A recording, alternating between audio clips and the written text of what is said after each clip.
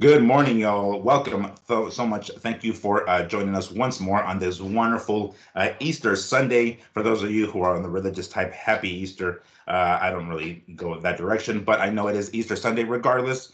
Um, there's a couple of other things that we wanted to touch on the show, but wanted to welcome everybody, of course, first and foremost. This is your co-host, Miguel Antonio Barragan, aka Fight Fiend Miggs, uh, uh, joined as always by my co-host, Andrew Don't Get It Twisted Lapachet. Uh, and this is the Mad Boxing Show on a wonderful, lovely, nice and warm, slightly windy Las Vegas weather uh, Easter Sunday. Um, so there's a lot of fights this weekend, um, so many that they had to split them up within two two days. It wasn't just Saturday; it was Friday and Saturday.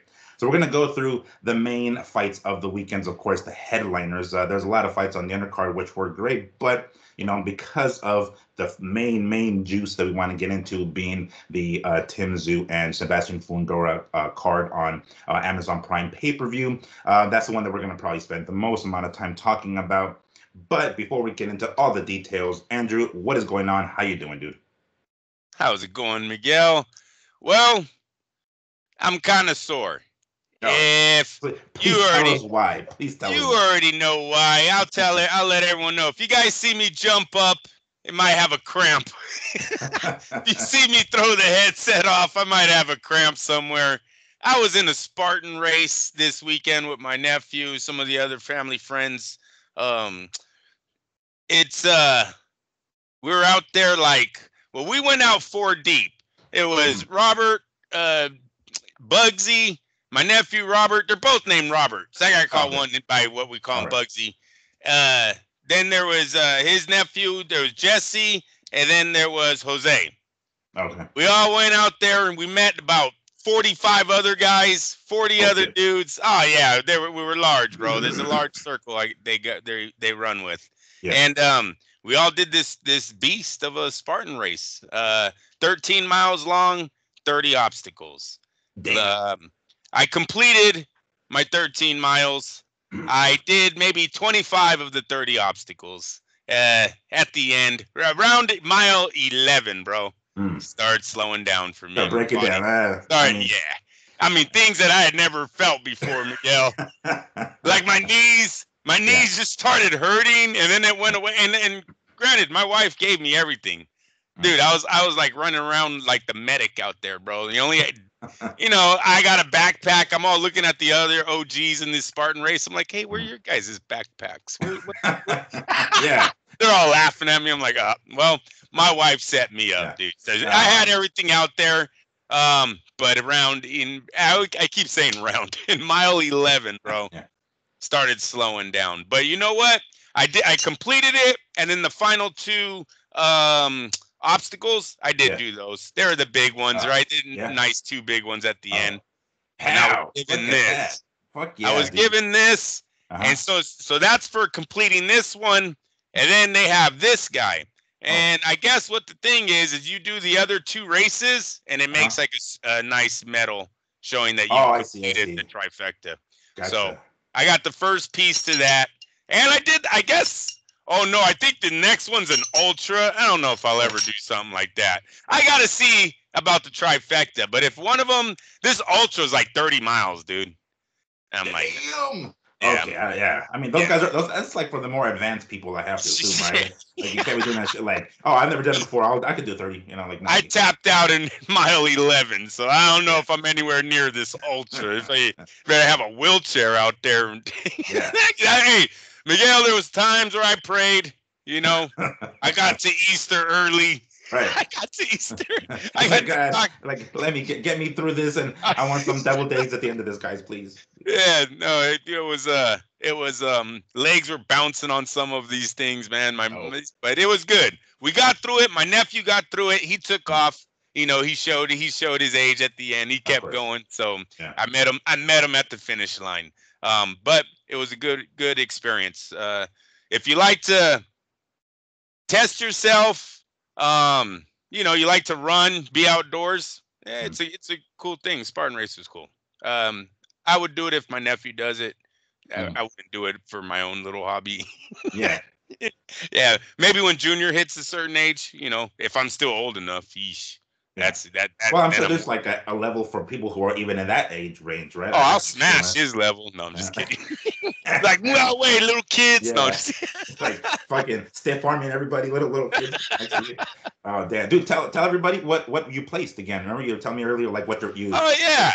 Ah, so my my wife just sent me a screenshot when me and Miguel were starting the show, and it's saying from the age group of 40 to 44, I placed 89 of 158.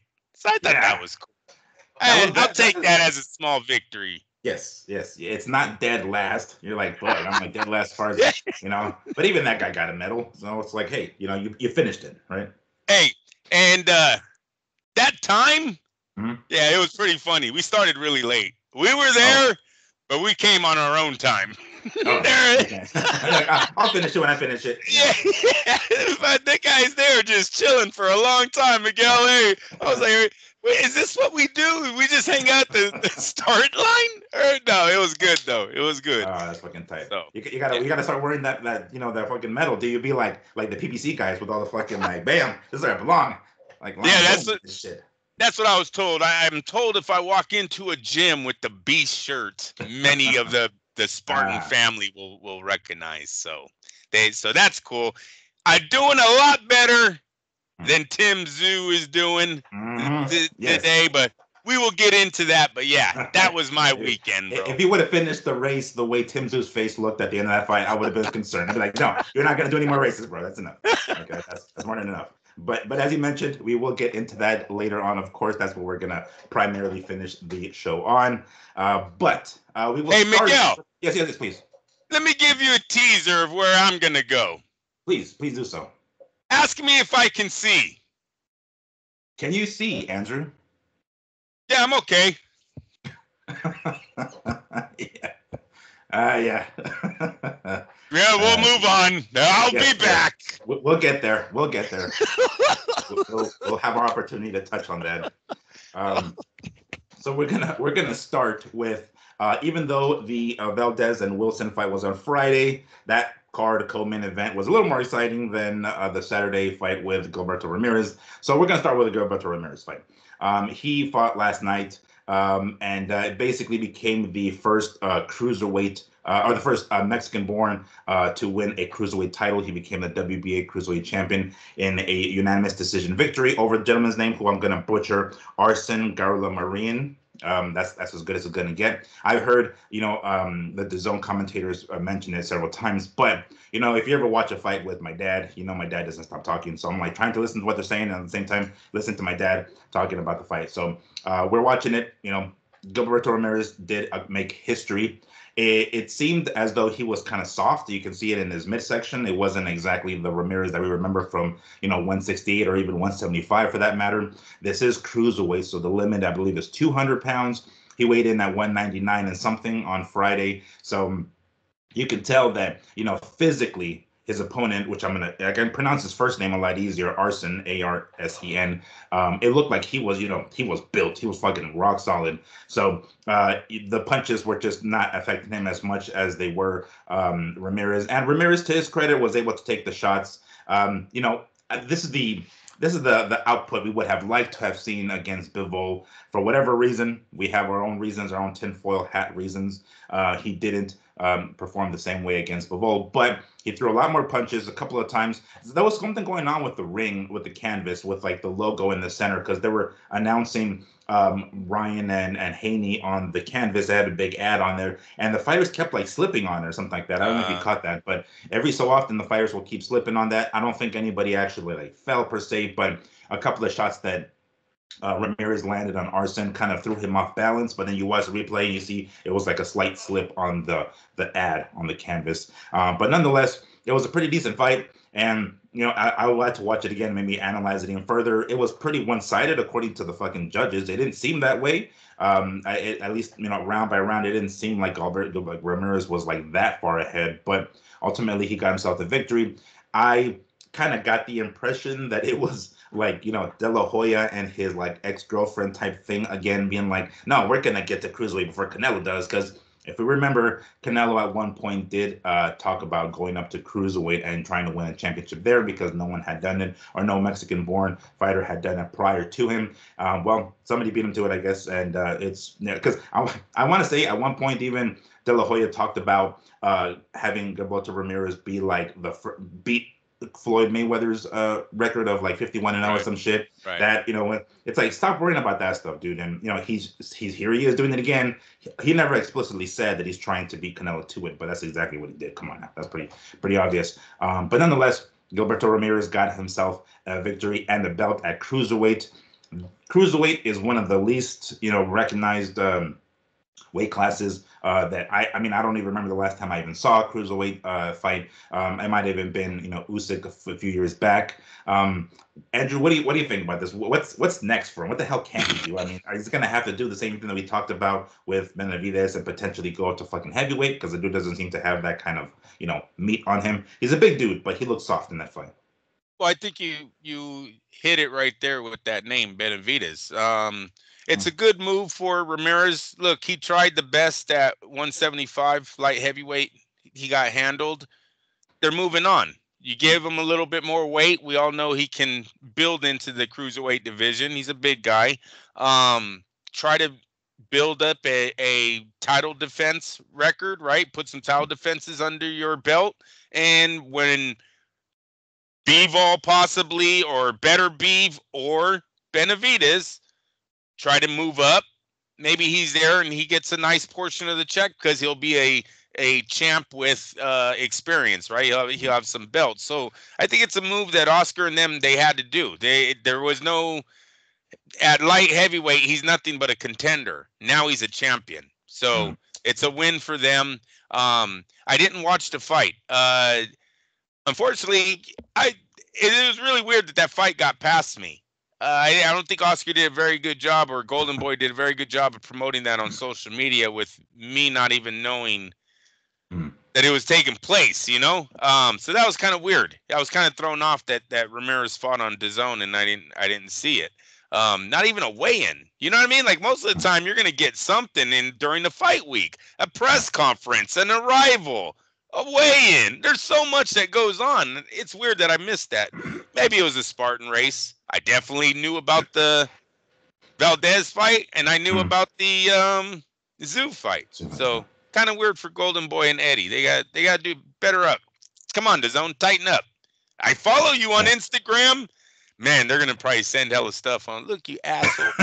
you know, right? Well, dude, just the fact that we're saying it, it's like you know, our phones are always listening. Like literally, like this yeah. week, yeah, yeah. You know, whole bunch, damn, the algorithm is gonna start throwing shit at us. Um, I mean, I want to say I knew his fight was coming up, you know, Ramirez, but like, um, I, I I might have checked because it wasn't because it came across my Instagram feed. It's because I was looking for it. You know, I tend to go to like ESPN or BoxingScene or something like that for the schedules, uh, for the Boston schedule for that particular weekend. And I was like, oh shit, Ramirez fighting. And then it's like, oh, it's on DAZN. I was like, all right, cool. I can, you know, toggle back and forth. And right. I mean, considering there were a few other names on the card that I wasn't too familiar with, I was like, I'm like, I'll watch it later. Like it's gonna be on the DAZN. I can always watch it later. I did the same thing. I went out on Friday. Um, and uh, I got home and then I saw the, the Valdez fight. So, you know, everything else I got on my feed, but I had to kind of look for it. And it, I kind of stumbled on it. I was like, oh shit, I guess he's fighting, which isn't a very good indicator. You know, I mean, this is kind yeah. of what might be the norm at cruiserweight for Gilberto Ramirez because I mean, yes. Who else is going to fight? You know, the, his best bet, as you mentioned, is to just kind of stay there and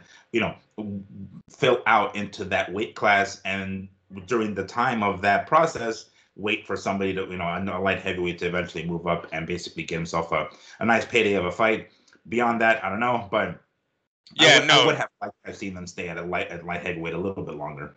Cruiserweights are not uh, typical American fan favorites. Um, we want to just see you move up to heavyweight why are we playing around? yeah, right? well, it's just there's just so much weight, man. I mean, you know, from from 175 uh, being the limit for light heavyweight to 200, that's 15 pounds. And this is this is one of the things that I've said many times, at least with me being a, a fan of MMA. Um, there's just too much space in between these weight classes, man. There's a lot of guys that are uh, too small for the weight, or I'm sorry, too big for the weight class beneath them, but too small for the weight class above them. Because in MMA, there's 10 pound differences between weight classes. Some of them even 15 pounds. Some of them even 20 pounds. So it's wow. like this is how it gets later on in the heavier weight classes in uh, in boxing. We have between 175 and that's 15 pound difference. Uh, that's uh, or 25 pound difference uh, between that and the cruiserweight. It's like, dude, that's a lot of fucking weight. You know what I'm saying? Like, of course, it won't benefit you to come in at the lightest of the weight class. You have want to be the heavier of the weight classes. So that's one of the reasons why I would have liked to have seen uh, Ramirez stay at 175, even if he didn't beat Bivol. Okay, so be it. There's a lot of other names at 175, and I'm sure there's a lot of, you know, again, we just saw um, what's his name, Benavidez, that's going to be you know, moving on to 175. So there's other people there for him to fight. Yeah, maybe not. I I, I would have thought he would have it would have been a lot sooner of a paycheck if he would have stayed at 175 and then have the guys that maybe super middleweight eventually move up to fight him. And we'll have some recognizable names there. Cruiserweight, not so much. I think you know, like I said, Usyk was the last time I saw a cruiserweight fight when he knocked out Bellew, and then um, uh, maybe fucking Holyfield back in the day. I, was, I think he took. He a, has a he has a belt. He has oh, okay. a belt, so now he has a potential pay per view. He's Rolly fucking Romero, and I'm not jumping, I'm, but I'm just telling you what he is. Yeah, he's, he's Rolly Romero on on the the radar right now. You're gonna have Benavidez if they're really thinking about. We're just talking about him moving to heavyweight, right? He might yeah. never get the Canelo fight. He's been a heavyweight in life before. He's talked about it. Now he's an athlete who might be able to put those pounds on with muscle and see what his hand speed and his power is like at the heavyweight division. He has the size to grow. So he's got a potential pay per view fight with him. And if Canelo's still into belt grabbing, which we all know Canelo's, you know, he's he's he's done in his career. He's not, you know, there's a belt there. Yeah. Tank did it with uh with um who's the guy he fought at 140? Barrios. Uh, Barrios, yeah, Mario Barrios. Barrios. Yeah. He went yeah, up there, grabbed the belt, come back down. Yeah, everyone does it. So so he's in that position. Let's give them credit for getting him back to there. Um, now you hold on to that belt, try to get your little title defenses on, get wins, get nice little paydays, and hopefully one of those big paydays. Ramirez keeps winning. He's known in the Mexican community. Diehards know him. Benavidez is a star, maybe just putting it in with him with the with the potential move up that might come future down the line might be a big fight. So um, hopefully they're thinking in that that way because yeah, everything else at cruiserweight's been dead in America for a very long time. So. Mm. All right. Well, um, you know, props to to Ramirez. He, you know, again made history by becoming the first Mexican-born uh, champ or fighter to uh, to win himself a cruiserweight title.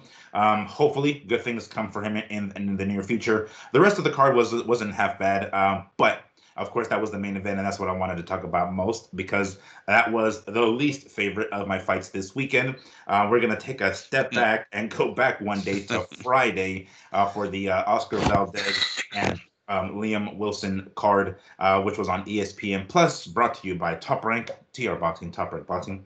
Um, so that was that was a fun card. That took place in um, uh, Arizona. I think uh, they said it was Phoenix. I think I'm not. I don't remember. Oh, Glendale, Glendale. So um, uh, first and foremost, of course, there was a co-main event that was that was pretty solid between uh, two uh, two women. I can always, I remember I can't remember her last name. It's like Valle. I don't know how to pronounce her first name, like Yokasta or something like that. Uh, who had two belts, and then uh, Seniesa Estrada, uh, super bad, who had two belts as well. They unified the minimum weight division, which I think is 105 pounds, 108 pounds, something Yeesh. like that yeah, there's t- tiny women. Very small. Yeah. Uh, very small. Yeah, and uh, they uh, they basically unified, you know, and they they uh, Estrada came away with the victory, um, and uh, it was um, it was a lot closer than than it seemed. I guess like there was a couple of times um, where um, Estrada was like kind of mocking uh, Valle. She was like doing this like Toro thing, like bullfighter kind of thing, the way um, uh, I think uh, Matt Lomachenko did once before. So uh, it was it was a pretty solid fight. You know, I was I was looking forward to it because that's kind of that's the good. It's the bad and the good of a female fighting. It happens in MMA as well when when you see two names that you recognize, I recognize who these names were, and I was like, oh shit, these girls are fighting cool. But then you kind of forget what weight class they they fought in before, and you know that's one of the downsides is oftentimes they have to move weight classes. This one seemed like these women were had been in the same weight class for a while, so I was like, oh shit, okay, cool. They're going to unify the division, um, and you know there's going to be an undisputed champion at that weight class, which I don't even know if there has been prior to this. Um, but you know that's kind of the the novelty hasn't faded away you know when you see two female names that you recognize you're like oh fuck yeah okay i, I know these chicks all right i'm down watching um so that served as a co-main event um, it was fun. It, it was a okay fight. You know, I mean, it was as, as entertaining as it could have been. Um, I believe afterwards, uh, Strada did say that she plans to move up in weight. Um, I'm not sure. Uh, I guess it'll be flyweight. I'm not sure what comes after that, but um, or strawweight. I don't know. Uh, but she intends to drop the belts and then move up in weight class. She did what she needed to do. There was a lot of beef between these two chicks. Like Seniesa Estrada was talking mad shit about Valle, and then and so was was her. Um, they some point in the I think early in the fight there was a really bad uh, head headbutt that caused a cut over over Valle's uh, I think it was her right eye. So um, after the fight, Valle even went as far as to say like, yeah, that shit was on purpose. Like I know you did that shot deliberately. Um, you know, th- there was still beef talk and a bunch of crap, uh, smack talk after the fight, which kind of made things still pretty juicy. But nonetheless, it was a pretty entertaining fight. Um, I don't know, you know, Seniesa already said that she's going to move up in weight class, so we know what's next for her. I'm just not sure what weight class that is. Uh, Valle might stay in that weight class and maybe you know try to gain the belts again. I don't know, but it's one of those things that you've talked about before, Andrew, where it's like, you know, we get the fight and then and then what, and then and then nothing, you know, and then it's like, can we get a rematch maybe, you know, and kind of keep the, I, the spark on, you know? Yes, yes, hundred percent. Can we get a rematch before we move up? Um, there's a lot of back and forth on on you know could have could have went either way. Should have been a draw, is what I'm seeing all over the internet. Um, with them being so light, you would think that they would look at and being from a very proud country in boxing, right? Yeah. So yeah. you think this might if this fight um gets a lot of uh what is the word? If it's if it's a great fight, why wouldn't yeah. you bring it back? Why wouldn't you take it to Mexico, try to sell out a crowd? You know, maximize your your profits sure. with it. Um, I I don't I don't understand why the the the total want to just move up. I've done what I did here, and they got beef now, right? They got it. Yeah, well, they got it. They had beef before. It didn't seem like they squashed it at all. So, but with the head bunt and her accusing her of, of doing it purposely, you think that would be even make the fight hotter, right? So I say if I'm Oscar, I try to bring this one back. You've got DAZN, you've got Top Rank, ESPN. It seems like big money for these girls. Don't nobody should go anywhere. Come back to the table and see if ESPN and DAZN want to see this one again. So the the um they had the fight i want to say at um, in glendale. It was glendale arizona. Um, and considering that that uh, Estrada is from from la like take it back to la like let's have or take know, it do it yeah. do it at the fucking you know crypto arena whatever the hell that or you know staples center the, whatever they named it now uh, or or anywhere else for that matter there in southern california. Like why not you know make it a headliner. Why, i'm sure you can have you know there's already a built-in storyline of their beef before this fucking fight because uh, even like during the the media week uh, events, um, Estrada was like, "No, like I'm not trying to be your friend. Like fuck out of here," you know. And it was just it was nasty. So I was like, "All right, cool." And you know, you know how nasty chicks can be towards each other. So they were they were bringing out the damn nails, right? And and Valle, to her credit, was trying to keep it professional, but she's like, "Nah, I'm, I'm whooping your ass." It didn't turn out that way, unfortunately for her. But we have ourselves now an undisputed champion. It wouldn't it would be nice. It, it would be it would be smart, I guess, on their. Oh, you know what? By the way, hold on. So, so uh, the the, DAZN and De La Hoya had nothing to do with this. This is all top rank because Seniesa was with Oscar at one time. She's with Top Rank now. So basically, it's all Top Rank. It's all ESPN Plus. It would be smart of them to get this fight again, to, to run it back. Um, why not? You know, like what else is she going to do? Where else is she going to be able to make as much money as you know someone that she's already beaten? and there's there's a built-in storyline. There's a built-in beef. Let's go ahead and what's the word dry that well before going on to another well you know like why not? There's still money on the table i would have to assume for a potential rematch between these two ladies and, and maybe maybe we can get ourselves a trilogy out of it or something if she loses. Yeah and i don't i mean she's a hundred and what pounds?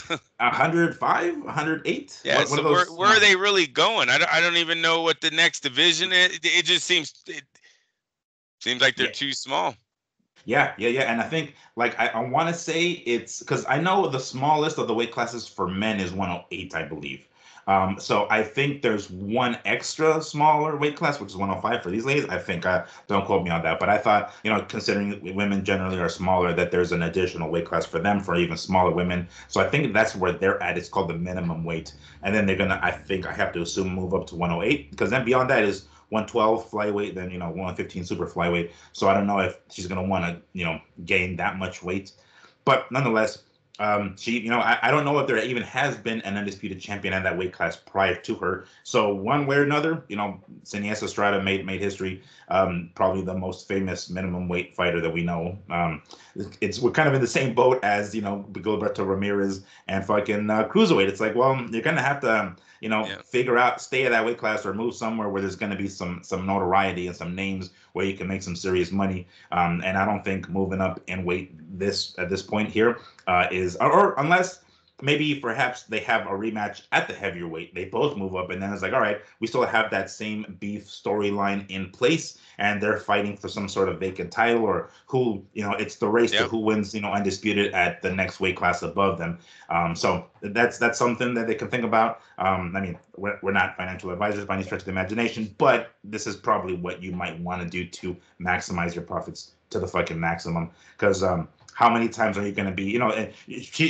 if she's going to move up in weight, I don't think she has any belts already at that weight class. So she's going to have to be a challenger first and foremost. Um, anyway, it was a pretty fun fight. You know, I enjoyed it. It was a nice co-main event. Um, I didn't know at the very beginning if the fight, or prior to Friday, if that was going to be the main event, considering it's a title fight. Um, and I didn't find out until later that uh, you know the uh, Valdez and uh, Wilson fight all was also for a belt. I think it was for a vacant belt, but we'll get into that here shortly. But I wasn't sure which fight was going to be the main event and which one was going to be the co-main event, and it wasn't until Top Rank posted it on their um, Instagram page that you know Valdez was the main event. I was like, cool, I'll take. So that leads us to, of course, the main event. Um, Oscar Valdez taking on Liam Wilson for, I believe it was the vacant WBO super lightweight title, or no, junior lightweight title, sorry. So uh, 130 pounds. Um, did, did you catch this one? Were, were you able to yeah. watch this one? Okay, cool. Yeah, yeah, yeah. All right. So um, my dad, my, I, I, went out that night. I came home. I went ahead and I watched the fight afterwards. My dad's like, "Oh, you know, you you're gonna love watching this fight. It was a good fight." I was like, "All right, cool. Let, us check it out." Um, it was to me, it it kind of well before I even get to that, um, Oscar Valdez came away with the victory. He won by seventh round uh, TKO slash you know stoppage kind of thing, ref stoppage, right? And uh, in uh, in doing so, got himself a belt back at 130 pounds, the WBO title. So he came away with the victory. You can see the emotion in his face, the relief. I think he had a lot of pressure on himself. Look like look like Mayweather Gotti all over again. yeah, right. Kind of yeah. left me there going what, why is he? What's going yeah, on? Yeah, yeah, yeah. I mean, he, you know, losing to to Shakur, then losing to, uh, I'm not sure if there was another fight between, but then losing to Vaquero. Uh, so I think he was kind of like, damn, there's no fucking way I can lose a third right now. So I think that was really more so pressure on himself. Um, he. Oh, I know. Hey, I'm just, process. I'm just being a jerk, but it was kind of like, come on, bro. Yeah, like you come on. Shakur fool. I would expect that if you whoop Shakur's ass. Yeah. But yeah, yeah, like he just entered the the ranks of the yeah, you know what I mean? I don't. Hey, and I get it. They're under a lot of pressure, like you said. He might have been, he might be, might be celebrating the fact that the check, another check, another big championship check's coming. I get all that. I'm just being a jerk. But while he was, while they showed him doing it for an extended period of time, these thoughts started coming in my head. I, yeah, hey, like, Valdez, I, I, I don't know if you've seen the odds, bro. yeah. I don't know if you've seen what the insiders are saying, but chill just a little, man. Yeah, let's pretend like act like you've been here before. Yeah, let's yeah. do that. Yeah, um, yeah. But uh, but anyway, so he did come away with a victory. Um, I watched the fight. Uh, it seemed like same old, same old. You know, it, it, it I didn't see anything different necessarily from from uh, from Valdez. Um, I back in Jesus Christ, back in 2012, the day before uh, Marquez Pacquiao 4.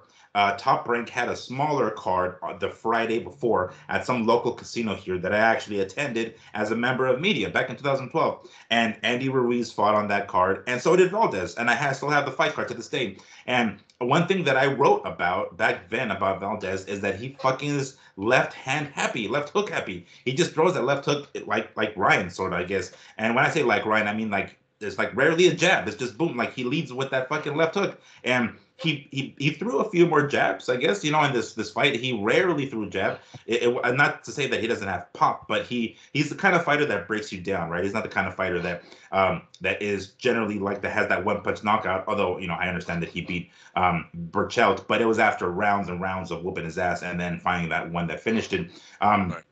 He was doing this with with Wilson as well, but I don't know. I can't I, I can't budge the feeling that uh, shake the feeling that he just doesn't have that kind of pop. You know, he doesn't have that sort of power. You see the way he throws his punches. He throws them like balls to the wall, and you know they do hurt the guy, but it's it's not a one punch type of thing. Um, he, it was accumulation really, and that is ultimately what beat down Wilson is accumulation of, of punches. Um, I I enjoyed the fight. I'm not gonna say I didn't enjoy the fight, but I didn't really see anything different in um, in Valdez. Maybe a little bit more patience, maybe a little trying to use his head a little bit more. But you know, when the when the punches are flying, it's Evander Holyfield. It's like that goes out the window, and then you start fucking throwing down, right? And that's kind of what it seemed with Valdez. Um, nonetheless, he went ahead and got himself a victory. Now has himself a belt. Can have a little bit more leverage in some of these other fights because there's other champions at that weight class, of course. Um, and um, one, you know, uh, uh, Shakur, some of them already already beat him, you know, in, in Shakur and Vaquero. So uh, he's got options. He's got options. But uh, Andrew, what did you think of the fight?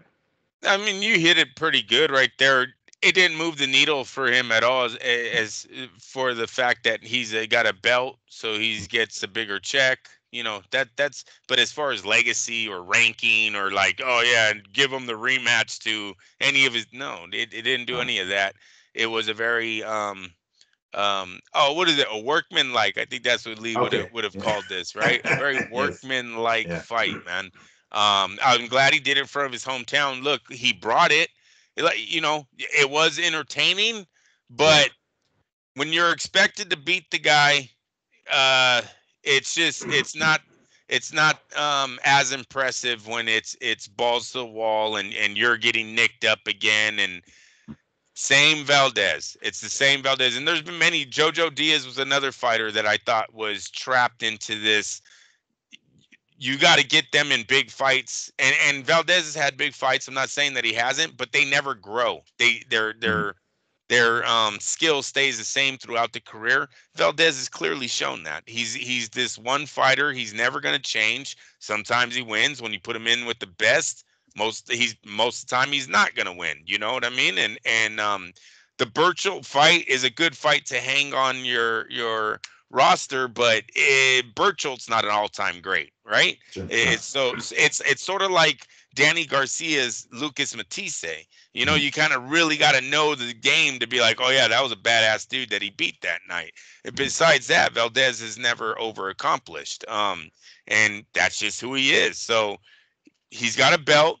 Get him in with another fighter. He's exciting. You're going to get your money's worth out of him. I wouldn't bet the house on him though, because he's mm. very hittable. He's very beatable, and the best have shown it. So for unfortunately the needle don't move on that on that radar so it's the same same oscar valdez congratulations for the belt though mm. Yeah yeah i agree. Um it it didn't um you know watching the fight and my dad was you know he like he's a fan of, of, of valdez so he's like yeah man you know you're gonna enjoy watching it and sure enough i did. You know i'm not gonna say i didn't enjoy watching the fight. I, I most certainly did. And you know that's the first thing. And uh, usually whenever uh, I, I miss the fights initially and I go back to watch them. I don't watch them from the beginning. I just watch the main event and co-main event, and then when I have time, I watch the rest of the undercard. So when I got home Friday, uh, that's the first one that I went to was a, was a Valdez and Wilson fight.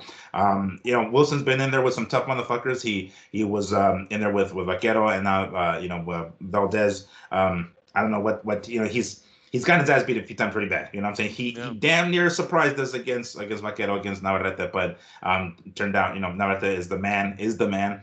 Um, so he's kind of in his weird position, like he's you know the, the B side, he's kind of the opponent, and it, with with um with a victory over Valdez, that would have really would have put him, made him, you know, really put him on the spot, on the map. I guess put him on the map, and unfortunately, it didn't turn out that way. Um, you can tell that you know that his punches just weren't there. He was landing on uh, on Valdez, but he just doesn't have the pop, doesn't have the power. If Valdez doesn't have the kind of pop that we think, uh, uh what's his name Wilson has, even less than that. So let's see what what comes next with both of these guys in particular of course valdez because i guess um this makes him the uh, interim champion at, at 130 for wbo and the the champ is is navarrete who just took the, the belt so uh, i don't know um is I, did i read this correctly or, or remember correctly is Vaquero going to 135? Is he trying 135? Because I think that's what I read, which is why they made this fight for the interim belt in the event that Navarrete decides to stay at 135 and decides to drop the WBO belt. Then um, Valdez will pick it up as you know the actual champ. But this is for like the the interim title, I think it was. Um, do you remember hearing anything about? Uh, no, not about. No, not about. Uh, if Navarrete is thinking about moving up, not yet. I. Um, I don't want to see that fight over again, though. I know that. yeah. Well, there's so, what I was getting at is that there are other champions, even though he got himself the yeah. interim belt there. There are other yeah. champions, and I pulled it up here. Lamont Roach and and O'Shaquie Foster are the two that pop out the most. There's another dude, Joe Cordina, which I'm pulling up here on ESPN's website, but. Uh, any one of those, I mean, specifically O'Shaquie Foster, because that dude, he's entertaining and you know he can put on some good fights. Fighting and he just signed with Top Rank. Oh, there you go. Yeah, yeah so he just um, signed with Top Rank. So th- there is some uh, some entertaining fights at 130 still. You know, uh, plenty of them. So I think uh, any one of those would do him would do him good. Um, I I just you know I would say stay away from from like you know I don't know. Yeah, no, you know, we already sometimes yeah. he's stubborn, right? But uh, go ahead, sorry. Yeah. No, you're fine. No, I, was, I said yeah to what you're saying. Yeah, I don't want to see that fight over again. Um, with the Foster, you know, that that helps Valdez would get another title under mm-hmm. his belt um, or and it would put him back, you know, put him back in the championship rankings. Turn it around for Foster, it's him beating a very good champ, ex-champ, you know. So that would set off his. So that fight makes a lot of sense for both guys right there. It's a winnable fight for a veteran looking for a belt, and for the the. I don't want to call him too young because I know he's been in the game, but he's a young champion that's yeah. a great name to have on your roster trying to get a big fight with one of the other guys. Um, I think that's the most doable fight. There would be a Foster Valdez um, matchup.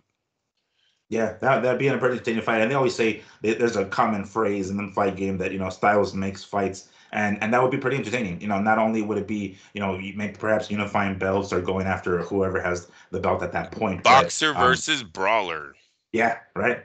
Yeah, that that'd be something something to look forward to. Um, but overall, it was a pretty solid card by uh, by Top Rank. Um, you know, it's it's kind of they do this every so often. You know, when there's like a major event that weekend, they'll actually change whatever fight they have to a different day. I'm gonna say, I'm gonna change. They see it ahead of time. Like um, they did it for uh, for Shakur during like Formula One weekend here in Vegas. They had his fight like on a Thursday, and someone else I forgot who else they did it. But Top Rank does that every so often. Whenever there's another major event that weekend, that they're like, uh, our card isn't as strong as that card, so let's do it another day. They did it again this weekend, but they did it on Friday, which I don't mind. It's I don't either. Make it no, make it easier for me to not have to toggle back and forth between the two uh, channels or the two streaming services, and it's like more fights spread out to the weekend. You know what I'm saying? It's yeah. like boom Friday night and then Saturday night. Um, that's one of the reasons why I don't mind the Saudi Arabia cards or the you know UK cards because those generally come in the morning. So I'm like, fuck yeah, I get bucks boxing Saturday morning and then I get bucks boxing Saturday evening and there's, usually some sort of UFC card that evening as well. So I'm like, damn, this is this is fucking tight. Um, and of course, considering yesterday the major card was uh, Tszyu and, and Fundora that we'll get into momentarily. But um, you know, I didn't. That was the that was a card of the night. You know, I wasn't switching back and forth between that and Gilberto Ramirez by any stretch of the imagination. I wasn't doing that. So, um, but, uh, but yeah, I'm kind of I'm kind of happy that they did it on a Friday, and it was kind of cool. You know, you kind of forget sometimes. And and uh, uh, th- when Thursday came around, I saw that uh, Valdez and, and Wilson were weighing in, and I was like, what the fuck? I was like, oh shit, that's right, it is on a Friday. Fuck. And then I remember that it was on a Friday, and you know, I caught the Friday. But uh, not mad at Top Rank for doing that on a Friday, because again, it's like a win-win for us. I don't have to be talking back and forth, and you know, I, I get more weekend, uh, more boxing out of my weekend. We um, came home. Yeah. From Junior's sparring. Oh yeah, that's Friday. right. Mm-hmm, mm-hmm. So you got the video. I did. Of, I did. Of one kid Junior sparred two on that night. Oh, and did you record both or? or... Yeah, I got oh. I got some of the second one. I'll send it to you later. I didn't want to post them because I didn't want all the the drama. You know, oh my god, two kids. Shh, don't tell the wife. Oh, okay. Oh, gotcha. just between you and me and everybody. Just between us, bro. Don't let her know. She's Ah, at shit. she's at church with the kids right now for Easter. I'm a little sore.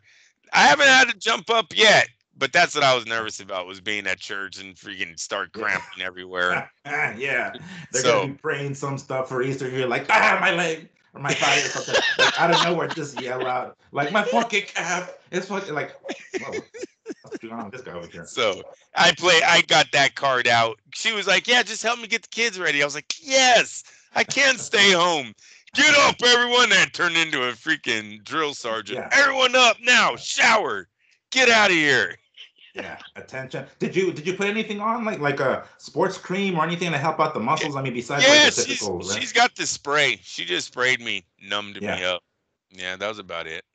It- Does, Um, it, does it feel like it works? Because there's like, like the what is that one um fucking brand that Shaq always. If uh, they were advertised? paying me, if they were paying me, I would say yes. That makes sense. It's All right. Every I think when you- show. I think when you spray it, like you feel the spray. I think that's when your mind's supposed to tell you that it's working, and you're like, "Oh yeah, look, Yeah. it's working." No, just kidding. I don't fuck Yeah. it. Maybe I don't know. I was limping before, and I was limping after. You know what I mean? Um, so I don't really know if it works or not. But she did. She did spray me, so she was trying. She was absolutely trying. Um, but yeah, no, Junior sparred. I was very happy with his uh his sparring. The one that I sent you, that's kid number one, obviously. Mm. Um, the young man had amateur uh Oh, fights. Junior doesn't. Um, Junior was 72 pounds. He was 68. So I thought they, you know, I was like, whatever. Let's if they want to run it, we'll run it. Um, and I thought he did good, eh? So, so I'm happy. He wasn't. He didn't tell me no more, Dad, on the drive home. So we'll Yeah. we'll move on to to the next one. See what happens there. And dude, then, I, I didn't. I didn't like like. I mean, every so often you would yell out like some sort of instruction. Because when I heard somebody yelling, was that for him or was that for Yeah, the other kids? that's for the like, other kid. I- That's for Oh. the other kid. Um, Manny, Manny is his trainer. He was in his corner. I think he might have been um, talking to. You might have heard. Did you hear two guys or only one guy? Oh damn! You know, I don't remember. Yeah. If shit. you're only hearing, if you're only hearing one, because I didn't really listen for that. I didn't really listen to see. But Manny was there. Manny, his trainer, did show up for it. Props to him, Tracy Boxing. So that was cool. Um, and uh, and so yeah, you could hear the other guy who was trying to, you know, tell tell his kid a little bit more. For me, it was a fill out. I just wanted to see. I just told Junior what to do when he got into the ring, and don't want to give him overwhelm him. Right? Just it was a fill out. This was all fill out process. This first one to see how he was going to react to combinations. Get and sorry, hey, sometimes my head is moving, but not the phone. You know, I have to. I saw that. I saw that. yeah. I- I thought you might have had it on a tripod, just pointing directly, and I was like, uh, and, and I was because like I was out, I was like, wow, fire the cameraman, you're fired, fire the, fire the cameraman. What the fuck was that? Damn it. yeah, that was my bad. I thought you were gonna turn it, but but yeah, I because there was a, a time where they were on the corner here on the near corner, and I was like, Yeah. is it the camera not gonna turn? What's going on? Like, is it is nobody manning it? Who's but is he on a break? What the fuck's going on? So it finally happened. There's your update on on the this sparring match, Yeah, the first official, right? I guess the first official sparring First match. official hands off, yeah. So it's gonna be is it gonna be a weekly thing? Like, are you just gonna like Yes. it has to be like, all right, let's do it every other week or something to start off?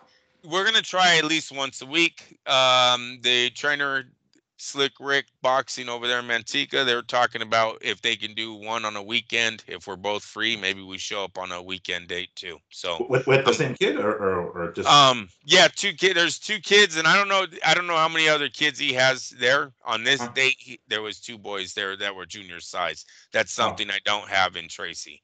They're just Oh. they're all teenagers in Tracy.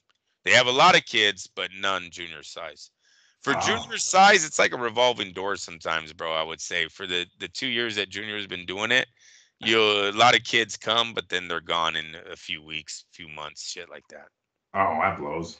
Yeah. Well, so, so here's the thing. Like, I, I don't know if like a lot of people realize this, but Friday is kind of the sparring day, huh? And like, I realized this like later on in life because I mean, I, I did some stuff like in MMA, but not really like boxing. But um, when I started getting into media, uh, this one dude who I was like working with was like, yeah, go to. There's a, a gym here in Vegas. Well, several gyms here in Vegas, but it's like go on Friday. That's usually sparring day.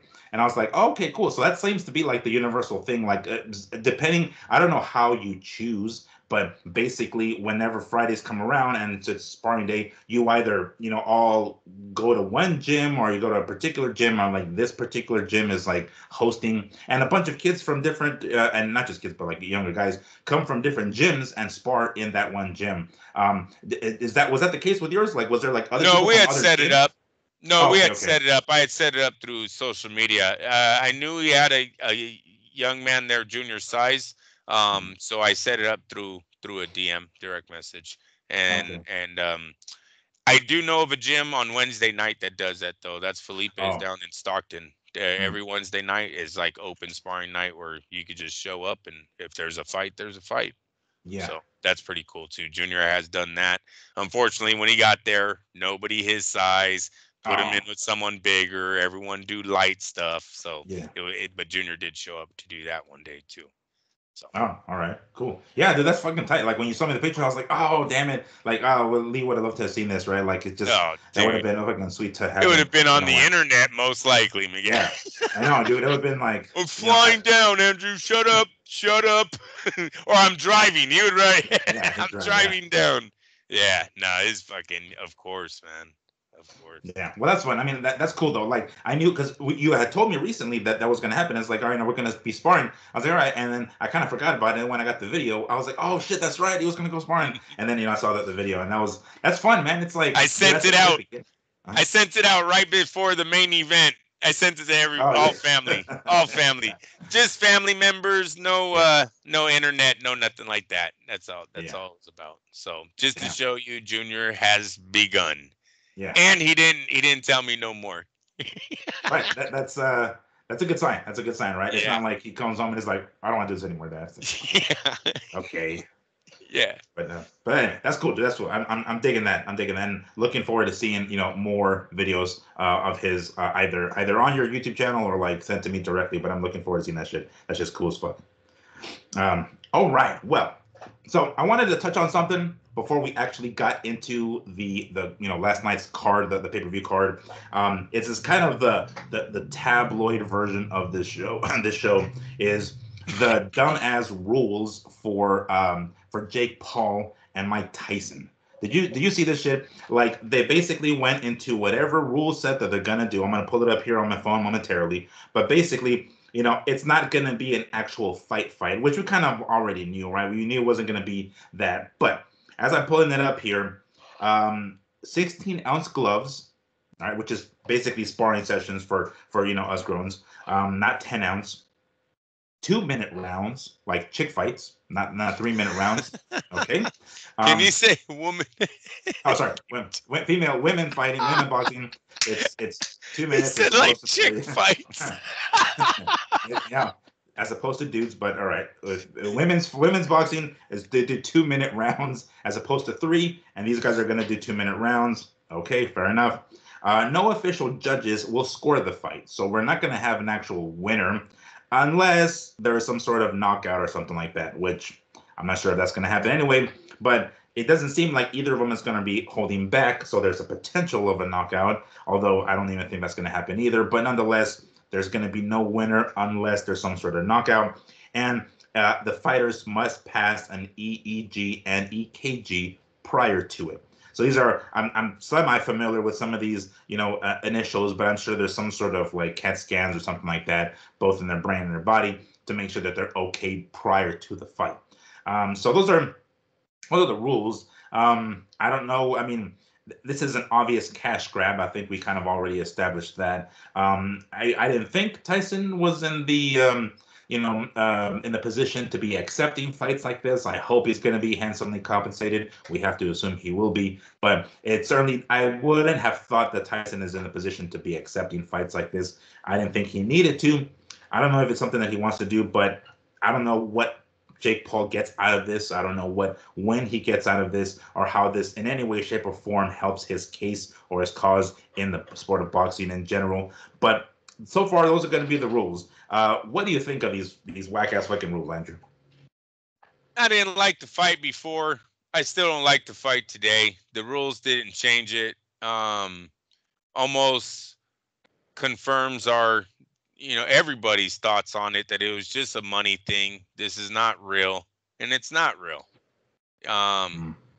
I don't even see really a knockout is going to come because Mike Tyson accidentally fucking hits him. yeah. You know what I mean? My dad was thinking the same thing. He's like, he's gonna accidentally unload a fucking hard ass right uppercut or something and crack yeah. his nose. So that he's might happen. But anyway, yeah. Deliver a punch that he tells him, I thought you could take that. You know, it'd be something like that. Like, my bad. And he you'll see Mike totally like ask for forgiveness probably on the camera too. I didn't mean to deal. He's gonna tell us it was a fixed fight, like it was an accident. I, I wasn't supposed to do that. Like I loved it when he told Roy that after their fight. He was like, "Hey, you took a good punch. Don't let them die. Don't don't let anyone tell you different. You still took that punch." I was like, "Oh, Mike." Basically talking about their brain damage and shit, bro. Uh, but whatever. Um, I'm done giving Mike money. I've given him all my mm. money that I that I you know He's made he's made way more millions than he should have in this sport. I'm done. I'm not. I hmm. wasn't in when they signed. I'm not in after these stupid ass rules. Um, two minute rounds, 16 ounce gloves, headgear. You know, Jake, it was everything but your brother. His name's Jake Paul, right? Yeah, yeah, yeah, yeah. And yeah, his brother's right, Logan. Good. As long as I got that. It's everything that the rumors were, except your brother getting tapped in. So you came out fucking crucifying everybody that was talking about how this was going to be a bullshit fight. And it is a bullshit fight. You just can't tap your brother in. So be it. Um it does nothing for his argument against a professional fighter. This is you're not fighting in a professional bout. You're not fighting with in with the inside the rules of a professional bout. So I don't give a shit if you if you land a few punches on Mike and try to take that as some win. How you know you landed on you know there's no argument for Canelo. It's actually a step back. It's not even a hmm. step forward for Jake. Hopefully, right, right. Makes... I'm saying it's like it, it's a great payday, great, but that doesn't exactly help his cause on some potential future Canelo fight. I come the fuck on. And and that hasn't happened yet. We haven't seen the great payday because yeah. really the the stories were never good about Triller, Mike Tyson in that Roy Jones fight. You know, we think they got paid. Don't really know. It, it seemed like you know Triller went bankrupt or something at the end. Like who knows how that ended for Mike? Um, I'm sure they had some kind of money that was guaranteed in a fucking bank account saying no. If everything else fails, Mike, you're still going to get two hundred and fifty thousand but it's not the 50 million that they were saying he was going to make, right? It's only a it's only a little amount they put away in a in a what is it escrow account? I think they they put these in. Mm-hmm. Um, so so I don't know if he's going to make a lot of money. There's not a lot of talk about it, and these rules aren't changed, dude. These rules make you look full, foolish in the MMA world. The, the mm-hmm. MMA guy should be making fun of Jake. He's oh, you know, he likes fucking making fun of them, well, they should be laughing at this one now too. So it doesn't even it doesn't even help him there. So I don't see their fan base buying into this fight. He's really going off of Mike Tyson's star power. Will the diehard Tyson fans buy this fight to to watch him maybe knock out Jake Paul, a, a, a obnoxious YouTuber, right? Mike told us 20 years ago he had no love for the game. Mm-hmm. I don't know if that comes back. Um, so I'm gonna say no. That this is a show for Mike. This is a this is another Broadway show. This is another TV show. This is another podcast. He's done a lot of these. He he he, he acts a lot in these older days. Mm-hmm. Does movies. Shit. So I'm not buying it. No, as of right now, I don't even know how many rounds they're gonna go. Like, will they be able to go, you know, ten or eight or what the heck the the, the decision is there? Because I haven't seen anything about that yet. Because they're certainly not gonna go twelve. Well, actually, maybe with two minute rounds, maybe they will. I don't know, but I haven't even seen that exactly. Um, or like uh, what? Um, I bet you it's only eight. I bet you it's only eight rounds. Yeah, probably. And I don't know, like even what, uh like what streaming service is gonna is it gonna be on fucking Netflix or some shit? Like I don't know where it's gonna. No, be yeah, on. they did say that. Oh, yeah. is it? Okay, okay. Yeah, that's already been announced. Yeah, it was like they're starting to, you know, Prime did it last night, and Yeah, then yeah. Netflix I think Well, announced.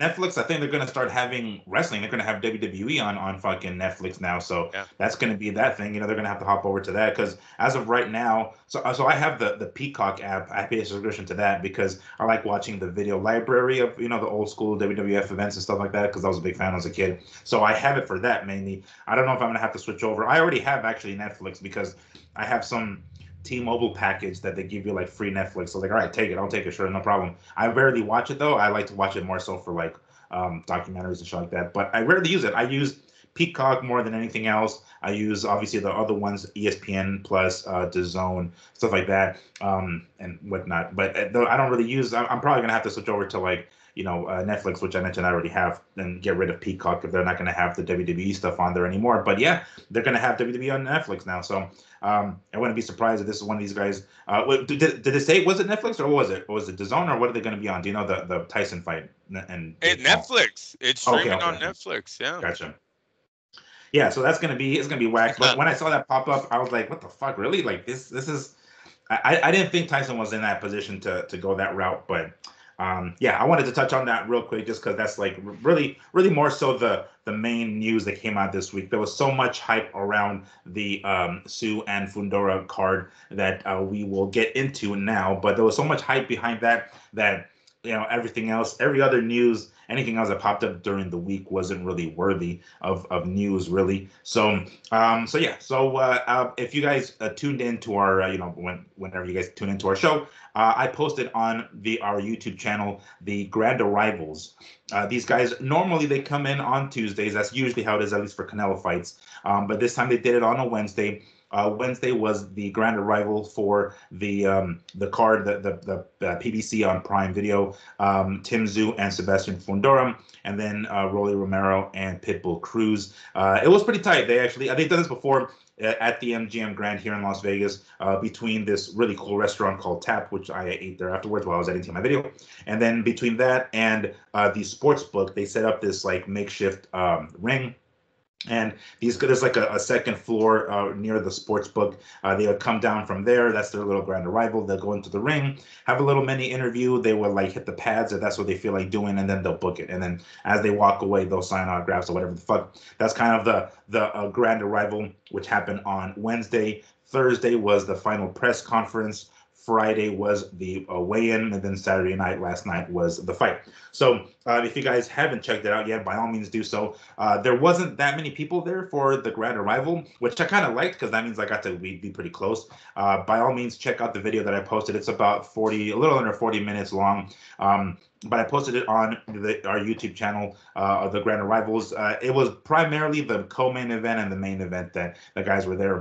Um, I want to say they had uh, Martinez and his opponent. Um, that was they were in the ring as well. That was a fun fight on the pay-per-view card, but they also did their little grand arrival, and that was kind of cool. Uh, but you know, I got to see everybody. Got, oh, and then also um, uh, Laura and uh, and um, uh, Zarafa. Uh, they were uh, they were there as well. It was pretty cool. I sent a couple of videos to our homie Sam Navajero uh, of you know like Safara that did, didn't um, Zarafa Zarafa um, didn't uh, didn't turn out very well for him. You know, well again that's part of the undercard bout. You know the undercard stuff. The ones that we want to focus on are the the co-main event and the main event. Um, so uh, we will start.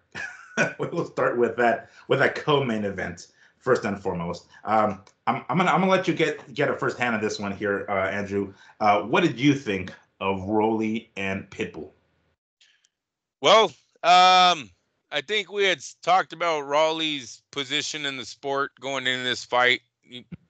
Didn't know if he was a real champion. Probably took a defeat to a guy that looked like, well, he described as being his grandfather's age. Um, was kind of given this belt so he could set up. Ryan Garcia was your prediction of of who was supposed to take Mhm, this mhm. belt off of him it was always supposed to happen. Whoever was going to get him first right? Mm-hmm. We predicted all of that, and right, I'm sure, right. and I know a lot of people did. Sure, but last night, uh, I think Pitbull did it easier than I even expected. Mm. It was pretty easy. It wasn't a fight, bro. Um, you know, the fact that that he Rolly Romero got that title the way he did, he should have had to rematch that grandpa, right? Mm-hmm. We got to watch, and I'm going to talk about this again. But yeah, that belt was a was a give me belt. Um, that's exactly what. T- props to Manny Pacquiao to, for getting uh, Pitbull into that position to get that title off of him with no guarantee from the PBC that he gets Tank. It looks like Tank don't want the fight, right? And the PBC allowed him to take a title with and and now you know with Manny being his uh promoter. Um, so props out for Manny for getting that for for Cruz there.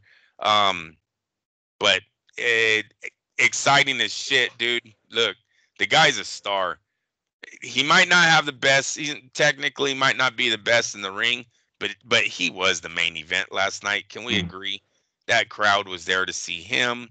The only text messages I got was about the Cruz fight.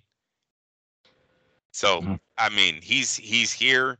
He's at a very good um, division. Unfortunately, that division holds some very badass technical fighters. And if I break down the fight, Cruz was walking into punches. I mean, sure. you guys, you, let's not, you know, we can't hide behind his flaws or or hide from them. The dude walks into a lot. He has no fucking jab. He's all hooks, all just power, heart, determination. I get all that. But when you're talking about the Devin Haney's and the Teofimo Lopez's, right? These guys are technically sound. They set you up. They counter. Beautiful counter punchers in that division with those two champs. So he he's got an uphill battle mm. from here. He's definitely no Rolly Romero though. The WBA title is now in the hands of a legit fighter who's trying to, you know, to do things in this sport. Rolly, what you showed us was you're all show, bro. You're no fight. You got no dog in you. You know, you brought the, you brought the the dog that represents you. That's that fucking chihuahua. yeah, right. I'm dead. You know, that's what it looked like last night. Mm. Just being honest. Um, Pit Bull looked like a pit bull. I loved his interview. Don't fucking piss off a pit bull. You damn right he was gunning for that boy's head, and the crowd was loving it. Out Junior was loving it. Like, nah, man, I could see the star grow. You seen? I sent you that star right after, mm. man, because mm-hmm. that's what it looked like he graduated into. Now it's about matchmaking. Don't throw him in right away with one of the other guys. Let's build him. Get him some, you know, three title defenses maybe. He's young, man. He don't need this shit right away. And I know they're they probably wouldn't. They'd go right into a unification, but I would like to see him grow into the junior welterweight division as a fighter, let his body grow, and try to get him some little more skills, man. You know, a fucking jab. right. So, loved everything about it, though. It, the right guy won. Uh, Rolly. Ah, did you see De La Hoya and Hopkins? I'll throw it back to you with the. Yeah, yeah go yeah. ahead. Yeah. That that said it all right there for Rolly, man. Yeah, that, that really did. Um, you know, as, even though um, you know, even though Rolly came out on the you know the short end on that particular fight, he was still kind of right in some of his predictions. It's like he comes forward, you, you don't have to go searching for him. You, he's hittable because he, you don't have to find him, right? he wasn't able to pull off the game plan, but regardless, he still is correct in that. Um, as as you mentioned, That's he's there to be correct. He's there to be hit. Yeah. He still gets hit, you know, and it's just unfortunate for for Rolly that he wasn't able to actually you know execute the game plan. Um, but he, he really was he really was the chihuahua of the card you know it was like and this is kind of a very similar scenario uh, um, uh, with with like Haney and and Ryan really. It's like we know Ryan's not the real deal but he talks a fuck ton so Haney's gonna come and whoop his ass and make Haney even more of a star. It's kind of what happened here. It's like we knew that Pitbull was gonna come in and like handle Rolly uh, I I did not and I I don't even remember what my prediction was last week uh, or how far the fight was going to go. But my homie Martin was, uh, you know, texting me, and he was like, "Dude," because he was watching it too, and uh, and I was like, uh, before the fight started, I said, you know, uh, Pitbull and eight. And I was like, it'll, it'll go a little bit beyond the, the half point mark. And thankfully, I got around the money. It was Pitbull and eight. Um, and when he was when he rocked Rolly in that first round, I was like, God, no, don't finish it, because you know the the fight before with uh, with um, Zerafa yeah. and, fucking um, yeah. uh, Lara ended really Two fast, rounds. and I was like, God damn it, you know. And then I knew at the moment, I'm like, I bet you Sam is pissed off right now. I was like, God, we are. You got to say on Easter, you got to say, gosh darn it. Oh yeah. Gosh darn it. Yes. Shoot. Oh shoot. There you go. It, Come it, on, uh, bro. Yeah. Right. But both of the both of the Australian fighters ended up losing last night, which which sucked, you know. But uh, that was, you know, we thought there that was going to be potential fight down the road. It's not going to happen. But anyway, um, I, am back to to Rolly and um and fucking Pitbull. Uh, it was you know, I was hoping the fight would go on because of that that Lara fight that ended up uh, uh, uh, that ended uh, quicker than I would have liked. And then I was like, man, we're gonna get to the main event real fast. That this fight, you know, when when Rolly gets tagged in that first round, we're like, geez, these guys aren't even barely warming up. You know, they're gonna have to kill a lot of time between now and then. There's not gonna be a good, you know, that happens sometimes when the early undercard fights end fast and then we have to kind of kill some time, or the broadcasters have to kill some time between that and the main event. And that's happened many times before. I remember as a kid being bored as fuck watching some of these fights. I'm like, damn it, when are they gonna get to the main event already? Because of how much dead time that there is. And uh, thankfully, that didn't happen. Rolly was able to, you know, keep his composure for as much as he could, and you know, uh, basically uh, tie um, uh, Pitbull at to the point where he was doing it so much that the referee had to like take a point. You know, it's like he was holding a lot, and this is I, I kind of like that. I like that because I, I understand, and people say this all the time, how much of a strategy it is for you to like, you know, um, to tie up your opponent, especially when you have your back up against the ropes or you're in a corner and the opponent comes at you, you know, like juggernauting in and you wrap him up so the referee can break you up. It's like you can only do that so much. You know, at some point you have to stop doing that shit. And as long as the referees let it happen, the fighter's gonna keep doing it. So that and I, is I want to go specifically to to Floyd and Manny I would have liked for there to be some sort of point action. Like, look, dude, you can only hold on so much. You're thinking it's some sort of fucking good strategy. That's not. It's not that great. You know, you're just you're trying to tie him up. The only reason fighters do that is because the referees let them get away with it. It's oh, not. Go watch. Go um, watch Floyd versus Robert Guerrero. Oh yeah, there's a hundred. That's what I'm saying. Over 115 clinches in that bout. Go watch the yeah. replay. It's like He's, when when do the things when do the fucking warnings come in? When do the point deductions? It's like they're only doing it because the wrestlers, you know, and everybody's like, oh, you don't know shit about boxing, you know shit. Like, no, it look at the rules. They're not supposed to fucking wrestle. What happens when they do get in the tussle? Or the referee splits them up and breaks them up again. Right. Okay, so they're not clinches. supposed to do it. It's like, god damn it. So you know, Rolly was in that position. He was hurt. I can understand he was trying to backpedal and he was trying to shake off the cobwebs. But there was a point where he looked like he was okay again, and he still kept like grabbing. So I'm I'm glad that the referee finally stepped in and said, "Hey, that's enough." Point deduction. Uh, I mean, it didn't help his cause. He was already, you know, he had no answer. He, he had, had, no answer. answer. He I mean, he was a deer he, in he headlights. answer. He had the answer. He just couldn't execute it. He, there you go. Yeah, yeah, absolutely, bro. Yeah, they had the blueprint. They just didn't know how to execute it in the ring. Totally, because man, the guy was walking through them, hitting them with combinations. He's literally grabbing for his life. Like you look so amateur, bro. Seriously.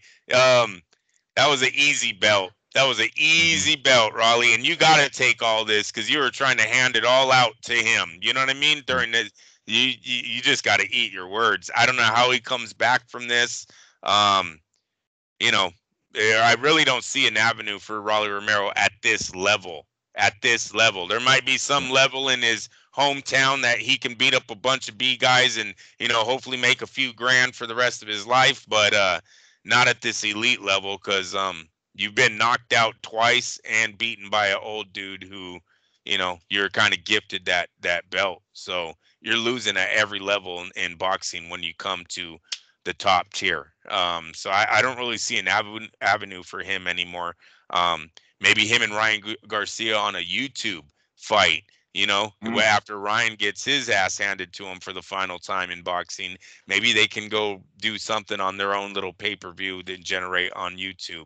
But um, but no, it's him versus anyone in the 140 division. Come on, is a joke if they put the fight together. Um, so yeah, especially no no title holders because uh, that that was what I was going to get into here momentarily is like what what comes next for these guys with the other champions. He's not going to get a crack at any one of those belts anytime soon. He's going to be probably you know fighting some other. He might he might be on the undercard of some you know he won't be the main event or co-main event anytime soon. At least I don't think. Um, but it, it was it was very it was uh, maybe maybe not as much, but damn near as close as satisfying as when Marcos Maidana beat um, fucking Adrian Broner. You know, I think that was probably like the top most satisfying victory I think I've ever watched in boxing is when Maidana handed um, uh, Broner his ass to him and took away his belt and took away his undefeated record. So this one was kind of up there. You know, I was willing and I'm like, God damn, I just I, I can't wait for um, for uh, for Rolly to get his ass beat for as much as he was talking.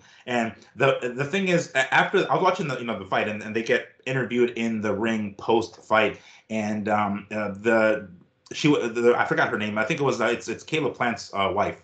I forget her name, but she was interviewing um, Rolly after the Jordan fight, right? Plant. Jordan, Jordan. Thank you, thank you, thank Yeah. you. Uh, and and she was asking us like like you know kind of kind of putting him on the spot, saying like you thought it was gonna be a lot easier. Are you regretting what you're Oh, saying yeah. now, right? Oh, you know, yeah. like and he he was so he was so out of it. He's just like, and, and I, I I could almost it's so it's so cringe because I could almost see like Jordan Plant like. Are you gonna answer the question, motherfucker? What the hell, right? So uh, he comes and he turns around with his like, uh, I just want to wish people a happy Easter, you know, uh, or like, uh, answer the question. He did that before. He did that with Tank. Remember, he totally checks Oh, out of the he? interview Oh, with Tank too. He No, started talking to. Yeah, he was acting. He was acting really weird after the Tank fight, where they thought maybe uh, Tank had gave him a concussion or something. Like he wasn't there, but he does. He pulls off another one of those.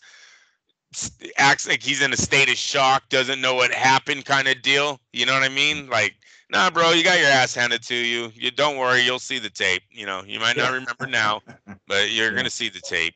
Um, Yeah. uh, and then he, so said, he said some stuff like, "Oh, and just like Jesus resurrection, resurrected, I'll be back." Like, uh, sure, sure, buddy. You know, like, yeah, by all means, yeah, by all means, come back. You're not gonna. And he will come- level. Yeah, I'm sure. and he right. will come back. We just don't. What's the avenue for him? He's an underdog every fight they put him in, right? Sure, Right yeah. now, all he beats And is B level. He was a champion. He came into this fight as an underdog. You know. Yeah, yeah. It's um, no. And then and then you seen him just get eaten alive on the internet. Whoever had him in the lead don't know nothing about boxing. Yes. Whoever had him a What champion. hell? Oh my There, god. there was like a lit. Yeah, it was it was bad for Rolly last night. But like I said, if you dish it, you got to take it, right? And Yeah. he definitely likes to. He's all. He's a showman. He right now he's a showman, and he will get on a fight card because he can sell that ticket. The mm-hmm. problem is Romero, you can't get your fucking ass handed like that because then no one's even gonna buy your show. I'm not buying your show anymore, but I know somebody out there will. So they'll PBC will definitely try to run this guy back onto a card. He needs to tighten up his boxing. You you got to get a win. You got to look, you know, like you can compete with the best. Last night did not look like you could compete with the best. You did catch him a few times, and that's something that I don't even know if if Cruz will ever work on that. Cruz might be who he is. Hopefully they try, you know, they because he's not even Barrera, and you know, Cruz is his mm-hmm. own different animal, man. So if the dude wants, you know, it's definitely a style that's not going to be here for a long time, right? Sure. His body might be in the ring, but that peak, this peak moment for him is not, you know, that ain't going to be with them forever, man. That this guy is all fucking heart training, determination. There's not a lot of skill there. His hooks are fucking wild. You know, he's crazy. He's like one of those dudes. You're like, what the hell's happening right now? But he's not stopping, and there's Yeah. really nothing you can do about it. You got to step back and try to time it, man. Is basically, you know, uh, it, all you can ask for. And unfortunately, timing is something that Haney and Lopez possess a lot of. Yeah. It's even Lopez, bro. You see that one video Lopez put out where he blocked Josh Taylor like three times with one glove and then counters him? No, no. It's a thing of beauty, bro. It's shit that they do that you don't see. You know what I mean? But bank, bank, like he blocks it three times and then counters, same hand. Josh mm. Taylor's all fucking hurt, one hand. Damn. that, that, rings a bell. I want to say I might have already seen it. Yeah, because yeah, he just done it too many times in that fight, but he did it that particular time. Um, I'm gonna look that up. I, I think I know what you're talking about. Um, yeah, that's what he's facing when he when he you know what I mean. That's what he's yeah. got. He has to work on a little bit more. But but uh, no, I was very happy, very happy with the with the way he handled fucking uh, uh, Romero last night. Romero kind of had that coming. Kind of had that coming for not even acknowledging the old man on how good he did too, right? He tried to kind of, oh yeah, what are you guys talking about? I blew that guy, I beat that guy. I was like, oh my god, and this kid, this kid's full of himself. And then the the way he promoted this fight, he got humbled. Hopefully, yeah, yeah exactly. Humbled. Yeah, I mean, we saw him get humbled. Rather not in his in his mind, he's he's humble or not is another story. Um, but uh, that definitely leaves. Uh, I, you know, you, you mentioned Pitbull Cruz has quite the hill to climb if he's going to fight some of the other guys because you know everybody else is going to have a jab. Everyone else is going to be able to execute what uh, Rolly wasn't able to. Uh, at least the, the elite guys at 140. Um, there, you know, there's that the Matias dude who everybody wants, uh, who is trying to avoid supposedly that is going to be a freaking barn burner if that ever happens. It might be too soon for that, though. I want to say maybe give uh, Cruz a title defense or something like that prior to yeah. even attempting. But he's in a position now. He now he's he he got the belt from Rolly, so now it's like, all right, now I am in the position to go after some of these fights. He has a lot of leverage now and bargaining power. Um, you know, he he like you said, it's not like going to be like a style that is gonna it's gonna be around forever. He wings his punches a lot. I, I have to assume it's because of his height. You know, that's the only way he can fucking reach some of these guys is if he just these uh, these wide punches, uh, like overhand, kind of like right hands, right? And I would have liked to have seen gone to the body a little bit more. Um, you know, Rolly was backpedaling for the majority of the fight. One of the ways you can get somebody to stop backpedaling is to start cracking them to the belly and start hitting them in the ribs and slowing them down. You know, cutting off the ring a little bit. Um, he did a pretty decent job. I think it was more so him hurting uh, Rolly that caused Rolly to stop. Uh, so he can get you know become a stationary target for Cruz and not so much Cruz's technical uh, ability to cut off the ring or like go to the body to slow him down. He didn't do that much. Um, I would have liked to have seen at least a little bit more of that from Cruz. Um, whether or not that can be changed or that can be added to his repertoire at this point of his career, I don't know. He's a young guy; he's 25, so he's got plenty to learn. But you know, I, I don't know if that he's he's in that. If he's the kind of person that would you know hook onto that or, or like that will latch onto those new skills as they're being taught to him, but he's in a position to make himself a lot of fucking money and be, you know, even in, in losing and giving up the belts, we saw how it was against um against Gervonta. If he puts on a p- performance like that, even in losing, his stock still rises. You know what I'm saying? So uh, if he, they put him up against, oh, uh, um, he's in a good position to to maybe try to do a card as him as the main event what the PBC oh, needs, yeah. what the PBC needs to find is a dance partner, right? That doesn't have to be another title holder. Um, real fast, me top. I didn't think about this until right now. It would be like, what about an Adrian Broner for an Amazon card, dude? What do you think on something like that? Ah, uh, at 140.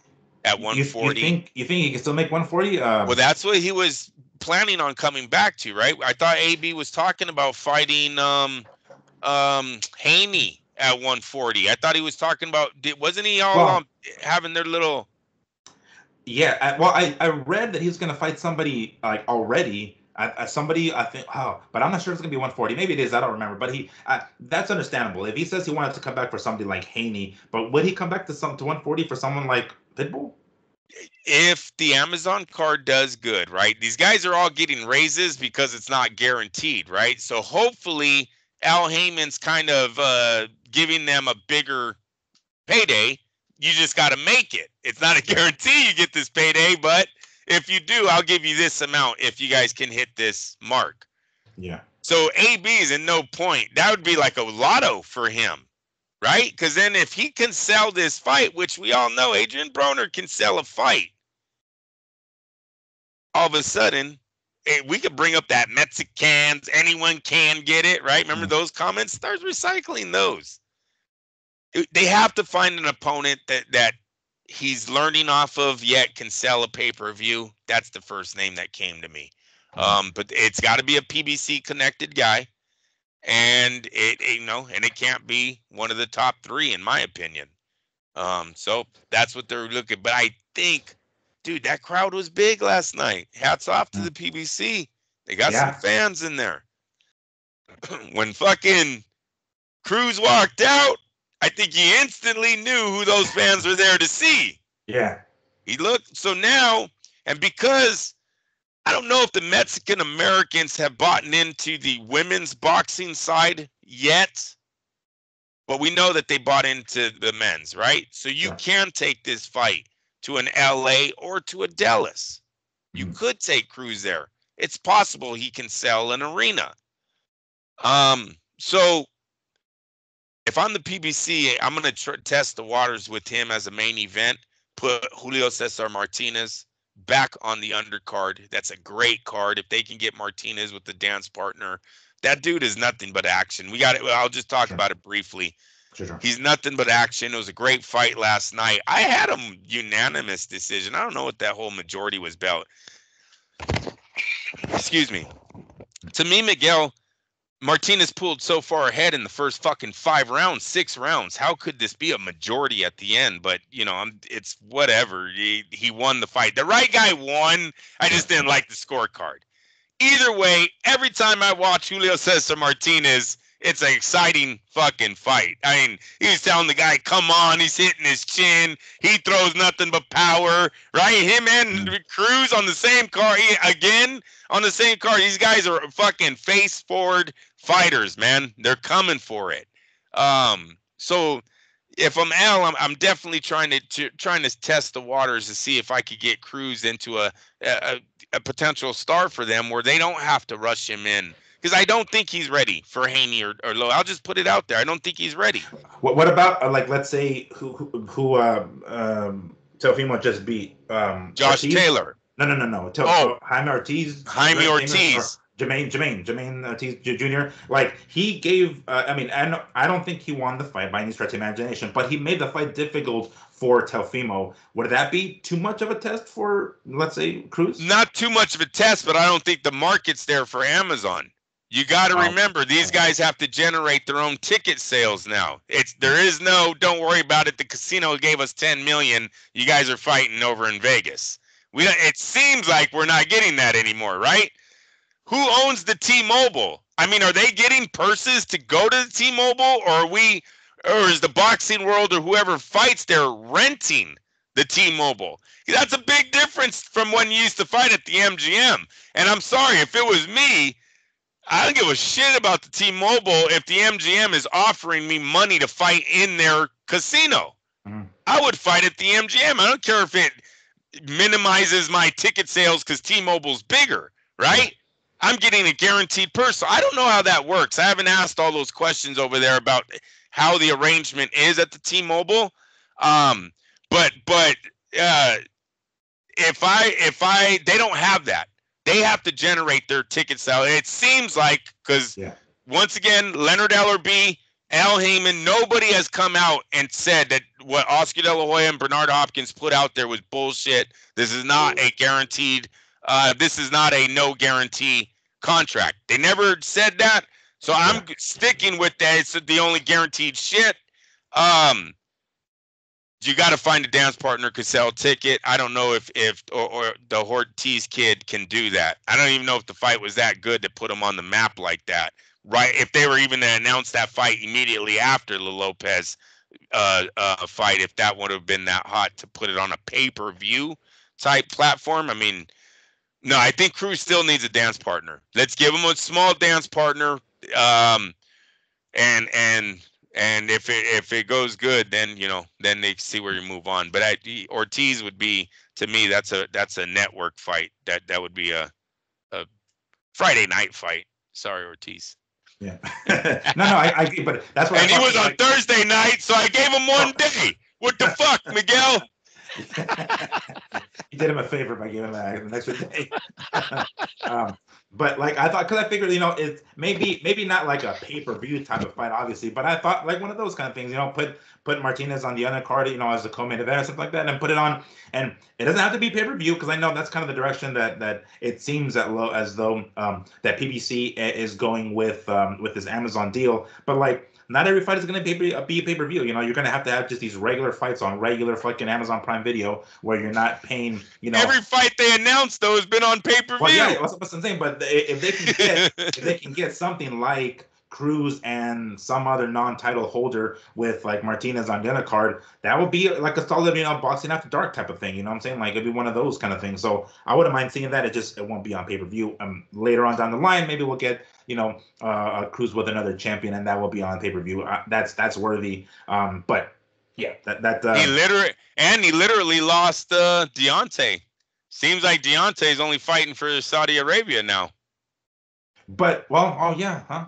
But that you don't think there's uh, he's still connected to PBC to some degree to be like. Oh well, I'm sure Al Haymon gets a piece of the check, but yeah. P, um, but he doesn't get him on his Amazon pay per views. You know what? This is like his third fight, I think, and going to be Zhang. Won't that be Wilder's yeah. third time over there? He fought uh, Parker. He fought, he fought, Parker over there, but I don't know who, who was. He didn't fight the white. He didn't fight the the white guy, the Viking. What was that dude's name? That he. Helenius. No. Helenius. I don't. Oh shit, was it over there? I'm gonna have to look it up. I don't. I don't remember it being over there. I don't think so. I, am I thought he was. All right. Well, this is his second fight okay. under Saudi. Yeah. And yeah. He lost the first time. I don't know how many people have him beating Zhang. I have him as an underdog. So even if he was to come back, let's just say with the two defeats, I don't know how big his market is with with the PBC at that point, right? Yeah. His pay per view market. Um, so I thought that that was weird, but they they lost him. But no, it seems like, especially with the main event, you thought if it, you know that fight was never a main event card. If they were going to have some kind of PB a PBC Amazon Prime just regular thing, that this would have opened that up. Um, it was kind of a weird opening night signing and a weird opening fight, right? Mm-hmm. Yeah, it, it, sure definitely was. Um, uh, hopefully, we get to see these guys back in the ring, or, or Cruz in particular, very, very soon. One of the things that um, that uh, uh, Steve Kim talks about regularly is the inactivity of some of these fighters. Uh, Cruz doesn't seem like that kind of person, so we like to assume that he's going to be back in the ring shortly, maybe like we're in uh, late March, so maybe I don't know, at least one more time before the end of the year, but hopefully two more times before the end of the year. Um, maybe maybe I'm asking for too much, but activity is a big deal, so hopefully he gets to do that. Um, so great win by Cruz, definitely uh, you know offered uh, Rolly some humble pie, and again it was one of those time, one of those things that it was so satisfying for for us to fucking watch. We were just every punch that Cruz was swinging, we're like, ah, oh, that's the one, that's the one, that's the one. And he, you know, he he kept missing a few times, but ultimately he got him out of there. Uh, and you know, props to uh, as much as we can to Rolly. He never, I mean, I, he wasn't actually knocked down, right? It was just like he was on his feet, like flopping around and stuff. And when the referee finally stopped it, uh, one of the times he did go into the ropes, and I thought that would have been considered a knockdown, but it yeah. looks like it never was. Yeah, I agree. But, not that it needed it necessarily, but uh, I mean, maybe taking a knee would have done him a fucking favor, you know, maybe at least just taking a quick little eight count or something like that, but that never crossed his mind apparently. And uh, when the referee stepped in, he was flopping all over the place. So it was a good stoppage, of course, and he was on his feet. He stayed on his feet the whole time. Uh, you know, props to him for taking the ass whooping. It's just a matter of him like accepting the ass whooping like he should be, right? Being like, all right, yeah, this was, yeah, this was. Uh, I feel. It, it, uh-huh. I feel like he's one of those girls that that act like if they don't remember it didn't happen. Go ahead. Sorry, Miguel. Sorry. It's, it's, like the quicker we move on to this, the quicker we just forget about it and happen. They're gonna ask him, be like, "Oh, so how you know, how you feel after that knockout?" It's like, "What? What knockout? What? What are you talking about?" like, never mind. Never mind. talking about Christ over here. But uh, that leads us to our main event of last night. Uh, Sebastian Fundora uh, well, I guess we should name Tim, Tim first. Tim Tszyu taking on Sebastian Fundora. Um, Tim was defending his WBO title uh, against uh, Fundora, and there was a vacant uh, WBC title on the line as well at 154 pounds. Um, when the fight was originally signed, of course, it was supposed to be Tim Tszyu and uh, Keith Thurman. That didn't happen. Keith Thurman injured his arm, so he was out. Boom, they bring in Fundora. Fundora, which, if I'm not mistaken, was going to fight on this card anyway. and they bump him up to the main event. So he was ready to go within that same evening. He said, fuck it, let's do it. And boom, there's a WBC title on the line as well. Two belts he went from going to you know his comeback fight after getting knocked out by Brian Mendoza, losing his interim belt or the silver belt. I forgot which belt it was that he had at the time. Losing that, losing his undefeated record. This being a comeback fight, and then bam, from that he gets you know uh, pushed into the main event spot. Uh, you know he did accept the fight, so props to him. On two weeks' notice, or 12, 12 days, a little under two weeks' notice, if I'm not mistaken, and we get ourselves quite the fucking bloodbath. Um, when I was watching the fight for a quick second, I was like watch Amazon Prime, people are gonna be like, "Is this what we got?" Like, no, we're not gonna we're not gonna have this barbaric animal shit. You know, like I thought I saw that and I was like, you know what? Because there's a there's a story. I don't know if you've ever heard the story going back to um, UFC one back in 1993. People didn't know what to expect. We didn't know what kind of fight was going to happen. They didn't know what the fuck was going to happen. And they had sponsors or potential sponsors from Gold's Gym, representatives from Gold's Gym that could potentially sponsor the UFC and have, you know, be a big, big partnership. The first fight happens. One dude gets kicked. A fucking tooth goes flying out. They're like, "Fuck this. We ain't doing this." So they immediately bounce and like, "We're not doing. We're not touching this shit. This is fuck no." So it's kind of funny, you know, a little now, you know, 30 years later, where Amazon Prime seeing this this main event on their card, and it's a damn bloodbath. I hope that didn't change their mind in any way, state, stretch of any stretch of the imagination uh, to, for you know continuing with this partnership with uh, with PBC. But Bottom line, Sebastian Fundora comes away with the victory. Uh, I believe it was a split decision victory, if I'm not mistaken. Uh, some of the scorecards were a little kind of all over the place, but um, he ended up coming away with the win. Rightfully so, I have to say. I think he did actually win. Our we were all aiming, or around saying all, but you know we knew who the favorite was, and that was Tim Tszyu. So we all expected him to come away with the victory. Of course, circumstances being what they were, uh, he right off the bat you can see right off the bat he had he was landing shots relatively easily, I might add, on Fundora. Fundora's head was snapping back. He was for a quick second. I was like, you know what, Fundora. After that knockout, this might have been a bad choice because it is it's gonna be it's gonna be bad for him. I thought, you know, especially after that first round of him getting hit. I was like, I'm not sure if his brain is there yet. I, I, he needs to wake up or something. And then at the end of the second round, the cut on on uh, on uh, Tim Tszyu happens. Fundora's nose is fucking gushing at this point. Like it's bleeding so much, it looks like his nose is broken. Basically, it's not just a regular bloody nose, but it looks bad. So I'm like, oh, this is not looking good for Fundora. And then the accidental elbow to the scalp, um, which didn't, I, I, truthfully didn't look that hard because of the direction that um, that the Tim was coming in. It almost looked like he hit the forearm, but apparently hit, hit the elbow. And Fundora is a tall, lanky dude, so it's not a lot of meat on him. So maybe you know those damn pointy ass sharp elbows, I'm sure did something, and, and that ultimately opened up the the scalp. Um, that definitely impaired the fight, uh, impaired his vision, um, Tim Tszyu's vision, and absolutely changed the direction. What are you talking about? I don't know. I don't know what you're talking about. What are you talking about? direction of the what it, I don't know what this means, Miguel. This must mean I'm seeing fine. right. Fuck So uh, so uh, and and the fight. I'm sorry. The, the cut happened at the end of the second round. So at that point, if the fight were to have been stopped, it would have been basically a no contest or no decision because four rounds were not completed.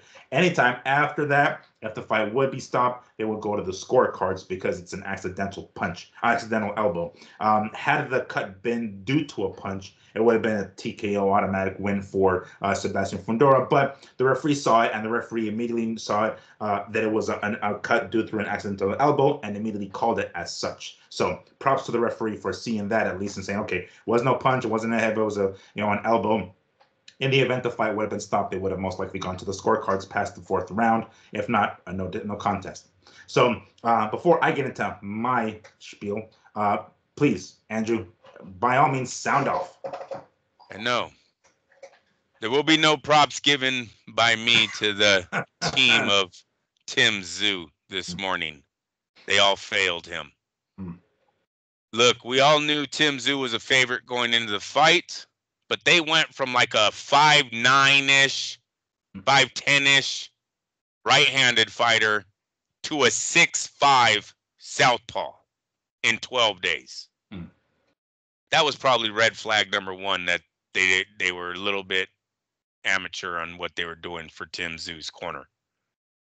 Then the fight happened. He gets cut. Your cut man has no idea what he's doing He can't stop the blood. You're a champion. You're an undefeated champion running a country right now or is about to be. He doesn't have all the ointments and the glues and the fucking Vaselines. I would have had everything in a bucket because you have the money to buy it all. So why didn't you have it all? And why don't you know how to apply it? So he failed me. And then you gotta look at your fucking trainer. And I know it's your uncle. And I, I'm cussing because I cuss. And you, you don't, you know, this is Tim Tszyu's uncle, so there's family there. There's a blood there. But he failed him, man. You don't hide a cut of that significance from the from the ref, and I felt that's what he was doing in that end of round two. He had the towel over it, and he's barely lifting it. No, dude, wipe the cut and show the ref and the doctor how deep it is because it's getting in your guy's eye. And right now, it's a fucking no contest and everyone goes home. What the fuck, man? You it was that important for you to beat fucking Fundora? Mm.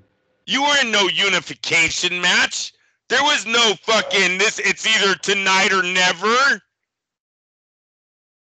I'm not mad at Fundora. They got nothing. Hey, great win for him. Cause you know what? he had the broken nose, man. So his breathing isn't right. You're not seeing, he's not breathing. Match on. Let's go. He worked through it too. So I got no sure. beef with him.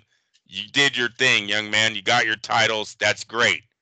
My beef is with the fucking commission, with the fucking corner of Tim Tszyu, and with fucking Al Haymon. You can't make that call. You can't call in on round two and go, hey, you assholes, the fuck's the doctor doing? Stop this fight. You don't win on accidents. I don't like it because you weren't nowhere near winning when the guy wasn't cut by your accidental fucking elbow to his head. You were nowhere near winning. Sorry. Matter of fact, in round beginning of round two, he lands like five right hands with you having absolutely no defense for it.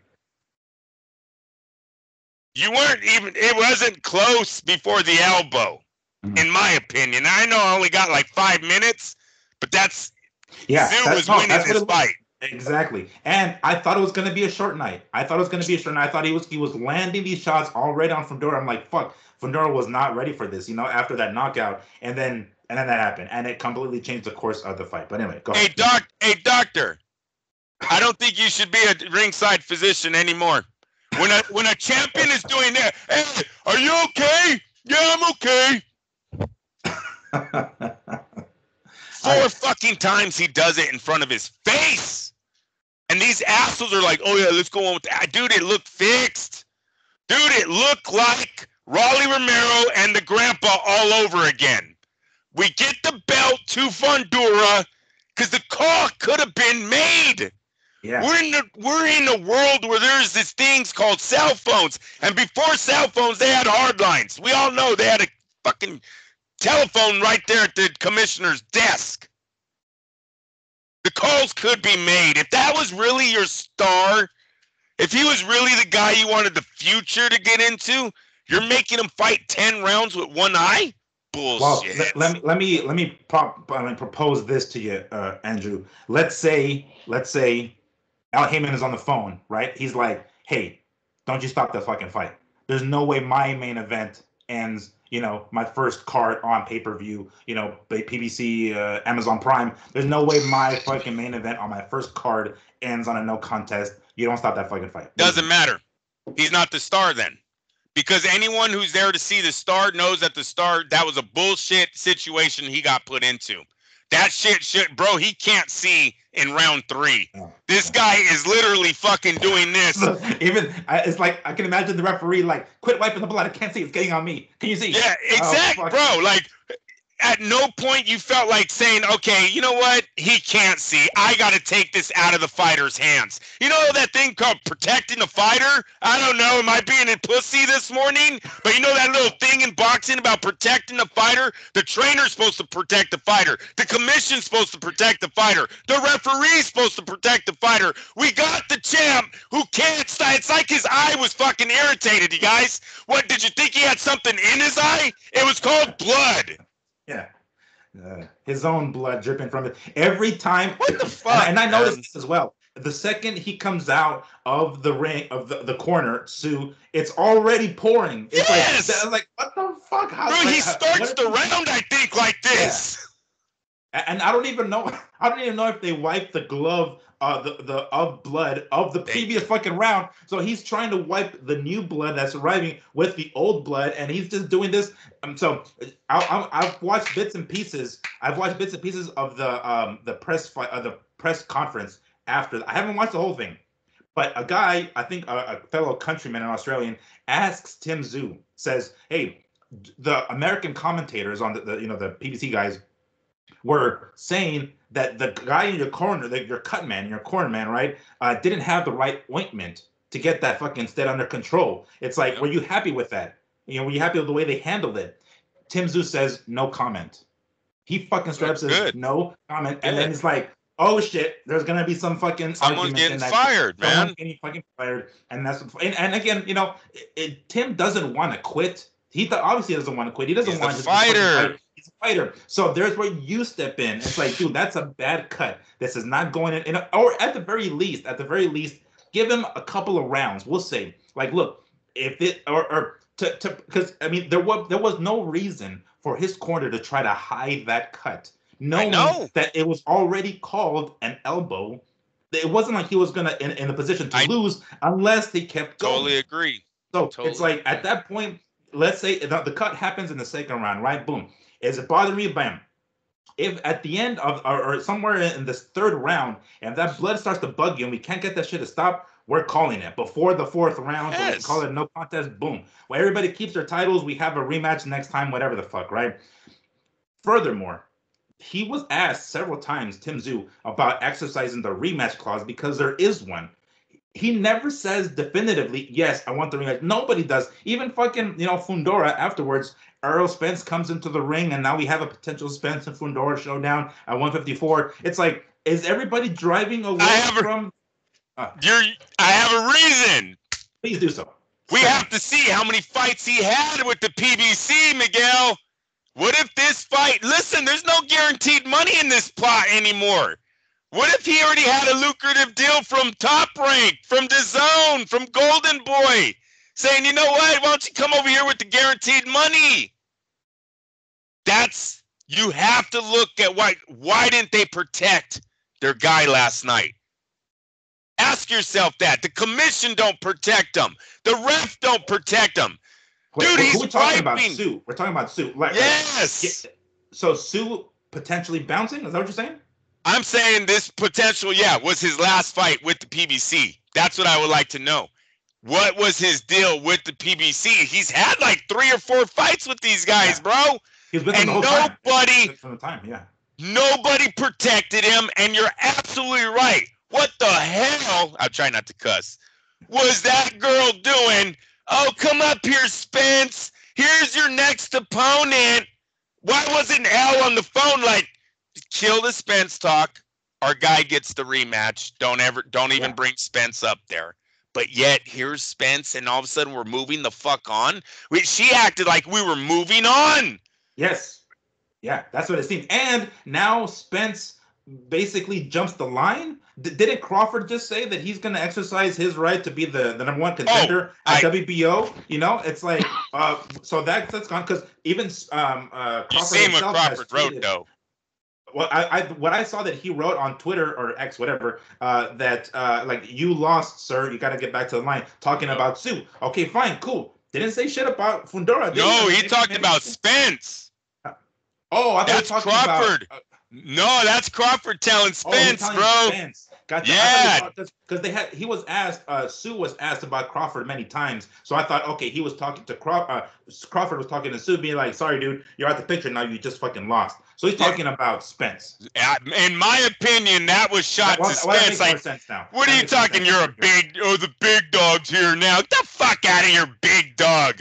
Bro, you can't stop a southpaw, and that motherfucker's six five in the southpaw position. Big dog?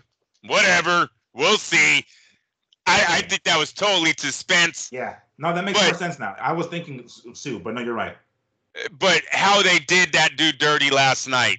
They did Tszyu so dirty last night, and his corner were just amateurs. Look, that's his uncle. That's no fucking legendary coach. He has no. I didn't hear anything about all the Australian great fighters that he's brought out. You know what they said? It's Tszyu's uncle, and that's what he looked like last night. He looked like Tszyu's uncle, and you did not protect your nephew at all. You didn't even have the right fucking cut man in the corner to to protect him. And what was the plan if the, he ever got cut?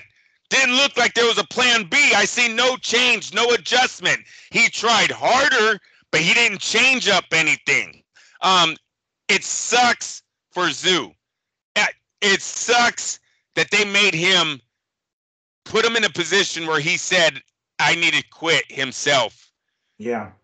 Hey, you guys, when I see my guy do this four fucking times after a doctor asked him if he can see, I'm gonna know my his body language is telling me no. And if I'm wrong, then I'm gonna show him the tape and go, look, asshole, the doctor just asked you, can you see? And four fucking times you are about to wipe your eye that they are questioning.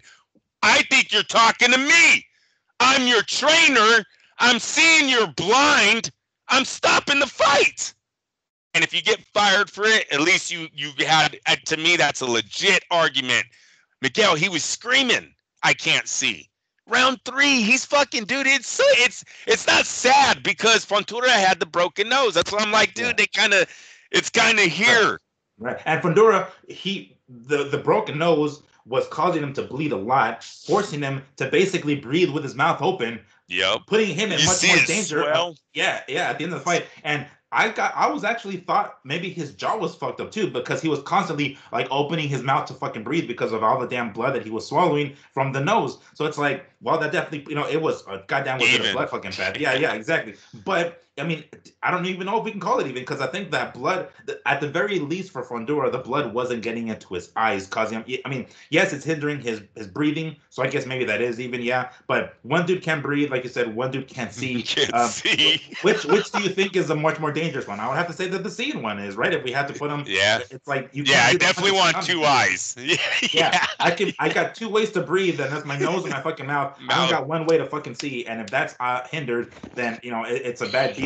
And it almost reminded me of of Tyson back when he lost to Buster Douglas, where his cornermen they didn't even have an Enswell to put That's it right. on that fucking eye. They got a damn latex glove that they filled up with cold water and I think ice to use yep. that, and it looked so amateurish. It's like, dude, what the fuck, you know? Uh, and that that what what Tim Tszyu saying no comment to that question speaks volumes. You didn't say yep. shit, but holy fuck, did that speak hella volume about what's gonna happen, what's gonna change in that corner. They did. I did not see them put anything as far as like um ointments on there. There's a, a, adrenaline something or other. Did they? Yeah, he had some kind of brown brown. uh uh What? How would you say it? Yeah, he had liquid. Was in it. He put Q-tip. Okay. Yeah, he put a Q-tip in it and applied a very little. I don't know what it was. I have no idea. Um, but that he had a vial, little brown vial, and he put a Q-tip. But he does that once, and it did nothing, dude. It fucking did not. It was bleed, like you said. The, the blood was coming out of the Vaseline. Like yeah. it literally was just coming right out. As soon as they put the Vaseline on, you would see a blood bubble come out. It's they failed him. Um, he needs to reward. Uh, it's a it's it was a sad wait, wait, situation he, that he, got Tszyu got put in. I know that you, you cut cut off there. He needs he needs to look at the corner. He oh, needs to look at his corner. He, he needs to look. It says it's just a bad situation all the way around. What happened to him last night? The other phone call that I would have made was to get them fucking water, bro. I swear I would not have let my two guys. If you want to talk about uh, watching the pay per view, neither corner was pouring water on their fighters to wash the blood away from the previous round. It was so gross. It, they just kept using towels, towels, towels. They probably had a million blood towels. When, dude, give. I would have been like, get these guys some fucking water. I already called it Leonard Ellerbe if I had to. You're Al Haymon. You call anyone in that building, right? Yeah. Get your ass down there and give both of those dudes water. I don't need it to look like a fucking slaughterhouse at the beginning of every round. Forget. But, but wouldn't that wouldn't that put too much water on the canvas in the corner there? Because sometimes I get. Uh, you can put towels down. You can put towels on. There's ways because they've done it. You've seen them wash the fighters. Even get a fucking sponge. I don't know. Sure, but sure. the fact that they were just allowing the whole here's a little towel on you and get back out there. And the guy looks bloody as shit. The ring was a bloody massacre. Hey, hopefully uh, the uh, Prime knew what they were getting into when they got into a combat sport.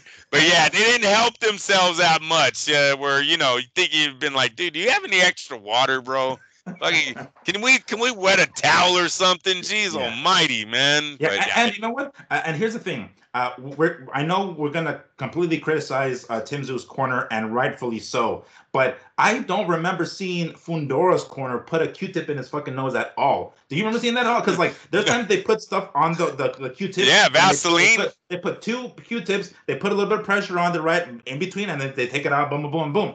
Same thing with Fundora. The second he comes out, that shit's already gushing. Now, again, it is the nose. I understand that, but it's almost like they didn't put shit in there. You know, it's like what the fuck, dude? Like, what what are these cornermen like? It, it was bloodier than it should have been, really. But every time Fundora stepped out of that corner, it's like, did they even wipe his fucking nose? He, he's like, back in the I, day, they they would shove Vaseline up your nose, right? Yeah. I mean, yeah, yeah, they would yeah. even whatever anything to plug. Anything yeah. to plug, whatever ointment they have, because I know they use like adrenaline. Uh, that's one of the, the ointments that they I know they put on there. And every time, um, you know, going back to Tszyu, they would put the Vaseline, but I swear them smearing the gasoline is opening the gas even more every time they do that shit. It's like uh, it's gotten to the point, dude, where I'm like, on the, I, I'm always trying to like invent stuff, and I swear there's gonna be something to help put that shit on without having to fucking smear it so goddamn much. I, I, I don't want to.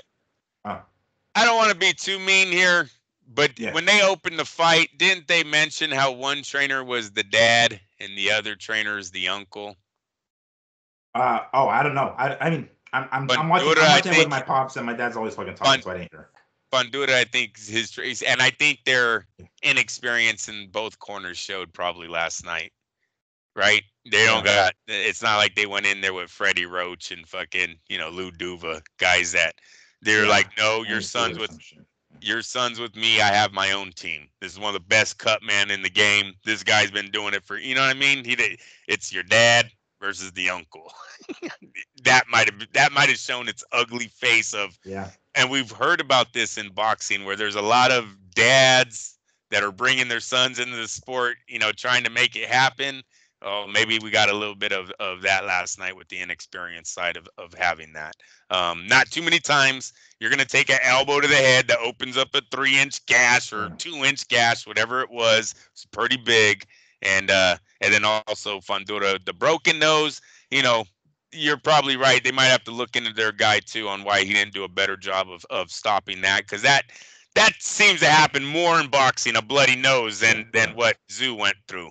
So so yeah, they they might want to look at that too. But yeah, that was mentioned before the fight, and now we're talking about a lot of mishaps going on in the corners of, of those two yeah fighters. Yeah. So It's almost like everything that could have gone wrong did gone wrong. Um, I, I kind of like there was a couple of times during this fight where I, I thought Tim was gonna pull it off. Like even with him being fucking bloody like that, I was like, oh shit, he'll land. And I swear he like stops Fundora dead in his tracks. And I'm like, oh shit, he's gonna fucking do it. Like, and I would kept thinking to myself, like, damn, if if Tszyu does it, if he comes off and he actually stops Fundora, it's like, damn, what a fucking story.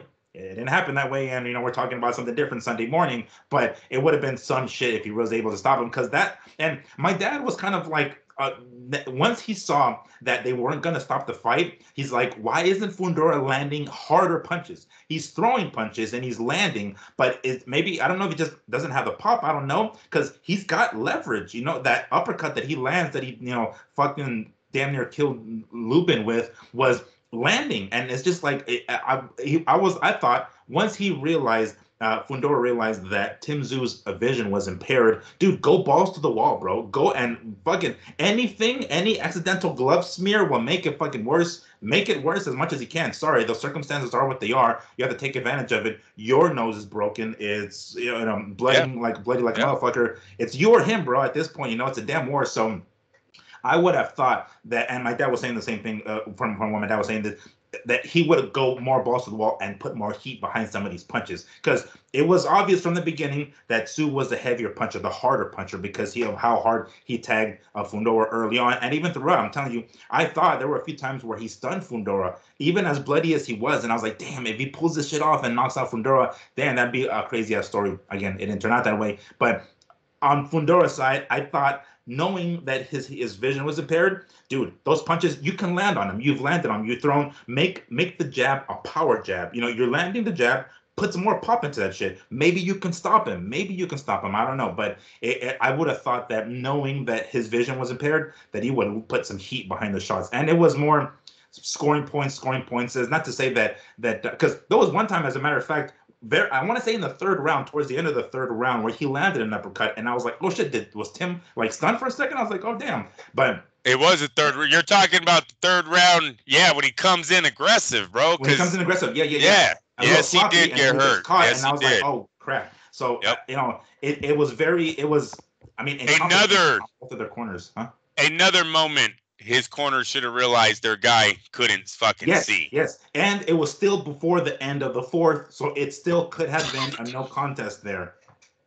Everything that you're saying, you wish would happen to a fighter when the cut was delivered by a punch.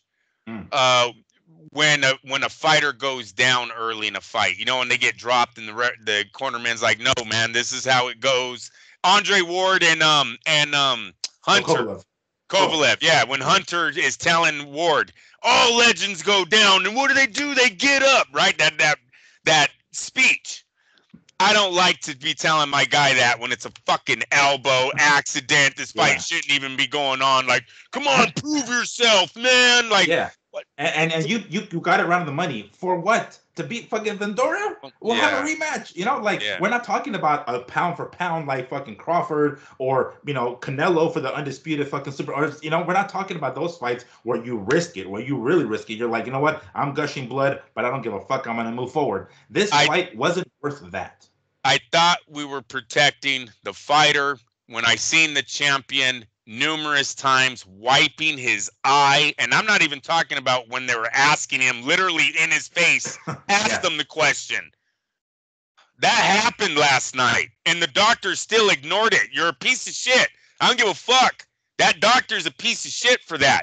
When if when you ask a man if they're blind and they wipe the eye that you're questioning, no, mm-hmm. nothing. Whatever. He got a phone call, but whatever.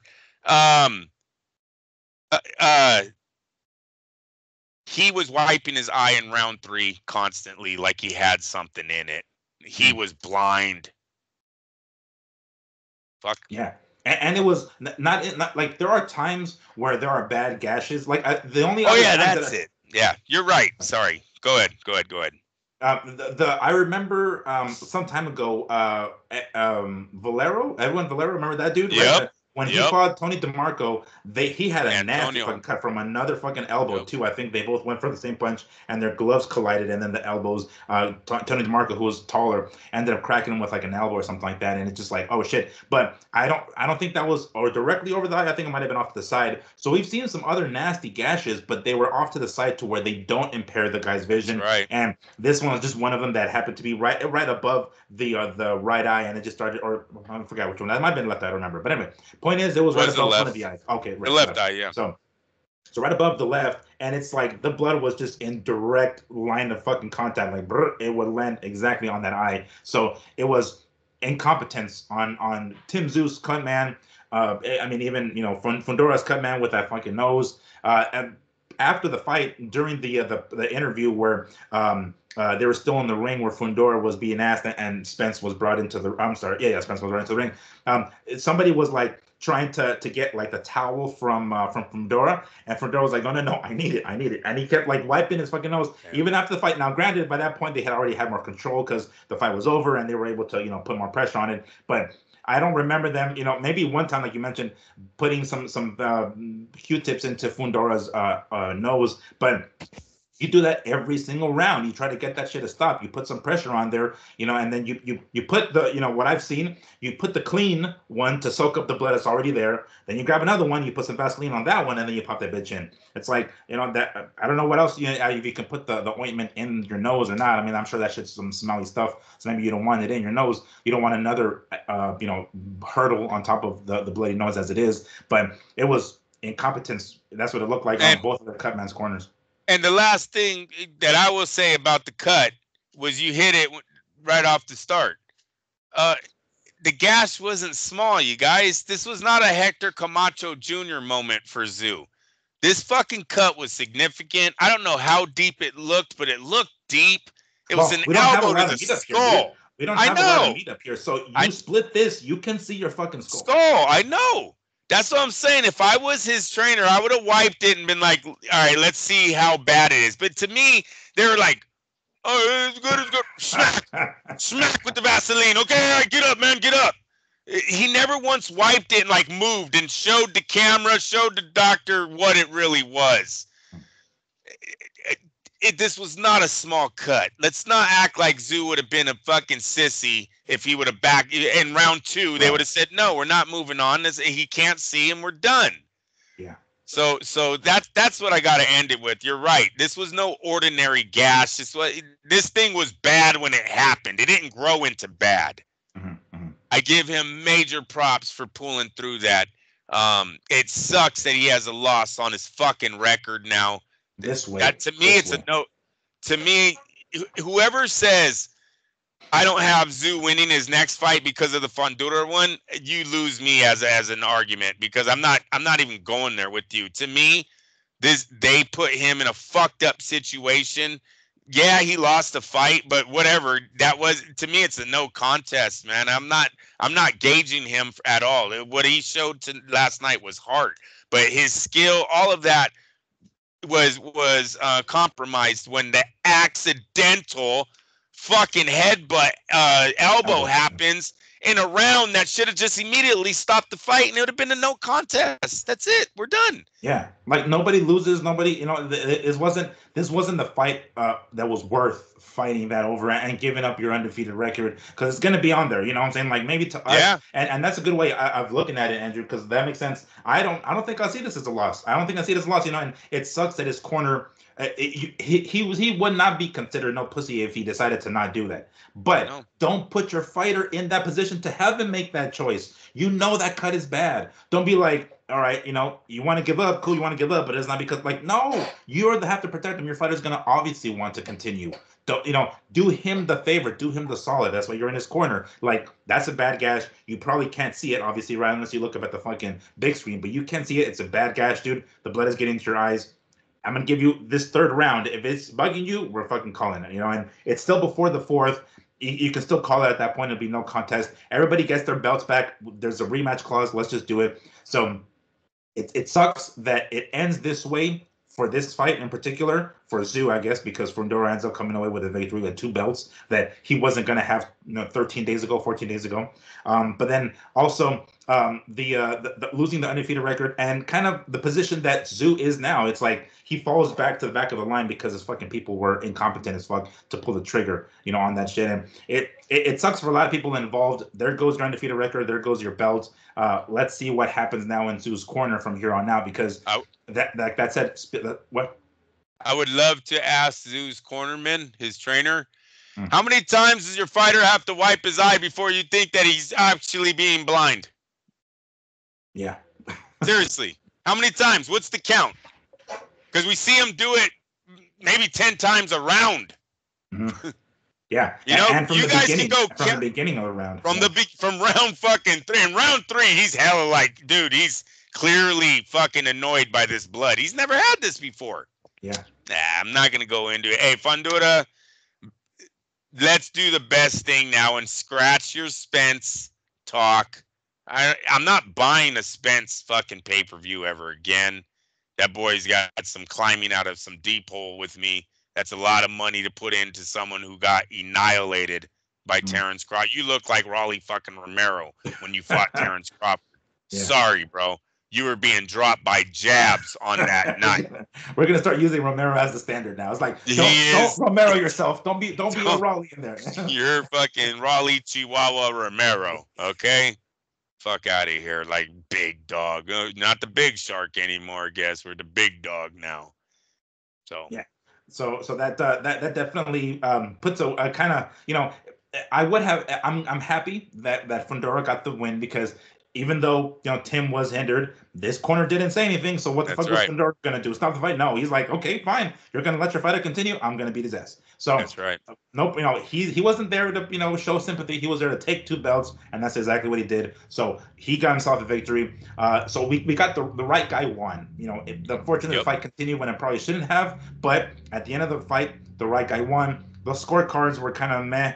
You know, I, I I'm I'm I used to be of the opinion that as long as the right guy won, no biggie. But that that and to some degree, I'm still that. But when I see judges give these scorecards, I'm like, look, that was too damn close the right guy damn near didn't win. I, I don't like it. Like, get the fuck out of here. You're not going to score another one. So, granted, the right guy won, but it was a lot closer than it should have been, and that judge shouldn't be fucking judging again. So, uh, I, am still, you know, as long as the right guy wins, but you know, I'm like, uh, but don't let that judge judge again. Fuck that shit, because it, it, was too close than, than it should have been. So, in in closing this pay per view, what what kind of grade do you think we can give PBC oh, and man. Amazon as an overall show, as the the fights, the performances, the the judging, the the outcomes of the fights. Um, because keep in mind, here's the thing: I don't know if it was just me, may, maybe it was just me, and maybe I'm just too harsh of a critic. I don't know, but the announce crew seemed a little nervous did they seem a little nervous? Sometimes they were like stumble over their words, like Brian Custer did it a couple of times, Mauro Ranallo did it a couple of times. But it's like these guys are pros. These guys have been on Showtime pay per view. They've had, um, you know, major fights, you know, Canelo and whatnot on PBC. So I was like, why, why these guys, you know? And and then a couple of things. I'm watching Brian Custer talk, and he's talking about they're gonna go, they're gonna cut away to some segment, uh, some video package on Rolly Romero, and it does it for like a second, and then it comes back to him for a second, and it's like, what the fuck is going on? I, like it's just uh, it was it seemed like I mean again it's their first show with with Amazon Prime. I get it video, but I was like this these guys need some refining to do. Like they they don't seem to have it down yet. I would have figured with the experience that PBC and Al Haymon has with Showtime, yeah, it, it would have yeah. it would have not had these issues right off the bat. Yeah, no, I I've never been really impressed with the PBC. Uh, production. Yeah, production. It, I've never been impressed with Showtime announcers. I was very impressed with Claudia Trejo. Oh, yeah, Trejo, yeah, yeah. Trejo. Um, I like how she can. Or, or Trujillo is it Trujillo? Trujillo, oh, there you go. That okay. sounds better. Yeah, that that might be it. I forget now. Um. Oh, my family's oh, home.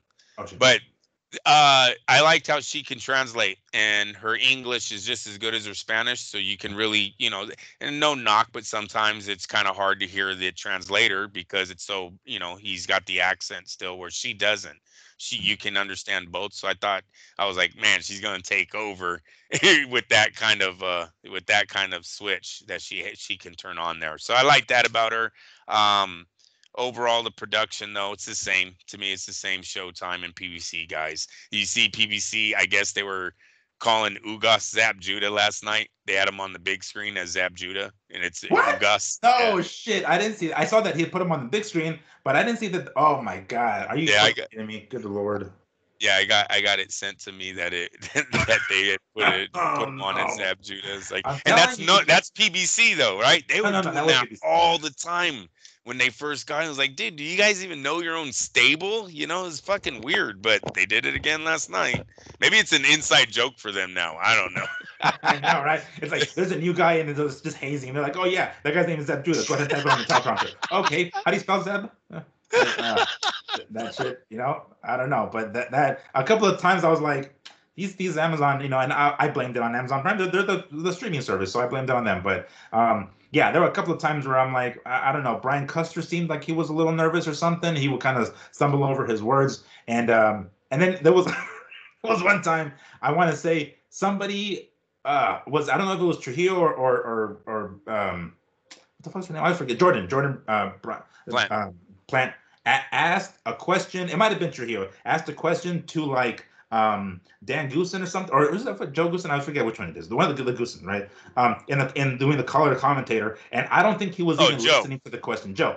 So I don't think he was even listening to the question that Trujillo gave him, and I like he was quiet for a second, and I heard like oh, uh, and then he starts going almost as if like Mauro Ranallo was like, dude, they're asking you a question, fool, what the fuck, right? And he's like, oh, there's alls for me, okay, you know, and then he starts talking, so it just stuff like that, where I'm like, Hey, uh, And, and then sometimes Joe says things that uh, are hella irrelevant. Like, well, he just won from a majority decision where basically one judge or a split decision. Eh, Did you hear it? And it was basically one judge had it for one guy, yeah. the other judges had it for the other guy. I was like, yeah, Joe, we all know that, buddy. That's what the announcer just announced, man. Like, thank you, Captain Obvious. We already know that. Yes. Thank you for explaining that. He's all, I don't know. I just have to meet this 300 word quote I'm trying to Yeah, hit right now. Exactly. It's like I don't know. Amazon Prime says I got to say 500 words. So I'm just gonna, you know, like this essay that I'm writing or some shit. Oh gosh. Yeah, but uh, what, what would you what would you grade it? I would what grade would you give the? I mean, not just the production, but the, the fights themselves, the overall show. Because um, you ordered it on pay per view. I Yes. didn't- I absolutely did not order it, but nonetheless, um, you know what? You, you get your you get your money's worth. Like what? what how would Oh, you yeah. grade it? What, what letter would you grade it? I would, uh, yeah, I would definitely. It's a B. It's not an A, but it's a Okay. B. And I would say the Martinez fight helped out a lot. It's a great little fight down there. Those guys threw down. Same thing. They destroyed each other's faces. Both of them are so important. The undefeated kid, his whole Yeah. fucking side of the head was swollen up. Martinez looked like his nose also fucking took a Yeah, beating. he got he got gashed, man. It was like one might have been a headbutt, the other one was an extra punch, but Martinez was bloody on the ice too. Yeah. So so and then um uh ah Lara gets Oh, the yeah. quick knockout. You know what I mean? You always like that. You never liked and they were actually making that fight seem like it was gonna be a boxing match, right? They were kind of going down and then they're like, oh a punch lands, there it is. And so, so it was like, oh cool, we got through that one. All right, fuck yeah. So you got your quick knockout, action pack, knockout, knockout that everyone wanted to see. The Mhm. right guy won on that fight. And the main event, look, for entertainment wise, how could you not be? These fucking dudes. Listen, another thing I get to bring that back. I wanted to talk about what Fundora and Tszyu did last night is the reason why people like us watch boxing. We're not talking casuals, we're talking diehards. Hmm. I'm talking about the, the people that know that these men will do things that normal men won't. And what you seen last night was two fucking warriors in that ring doing things that other normal people wouldn't. You see me, I would have thrown in the towel. You hear me talking right now, right? Um, that man couldn't breathe. his nose is swollen. He's tasting his own blood the whole fight. Wins. Tszyu had no reason to continue, had numerous times to back out when they're asking him. Just goes through it. He's got this fucking gash on his head. No one would have barely fought. Nobody fights through it. So I got to give them both standing props, respect, much respect to that. That's why I watch this sport. You know what I mean? Hmm. Yes, Tszyu is uh, that old school fighter. He takes on all comers. He doesn't quit. He ain't backing out. So he got mad respect last night. Unfortunately, came at the cost of his fucking undefeated record Mm.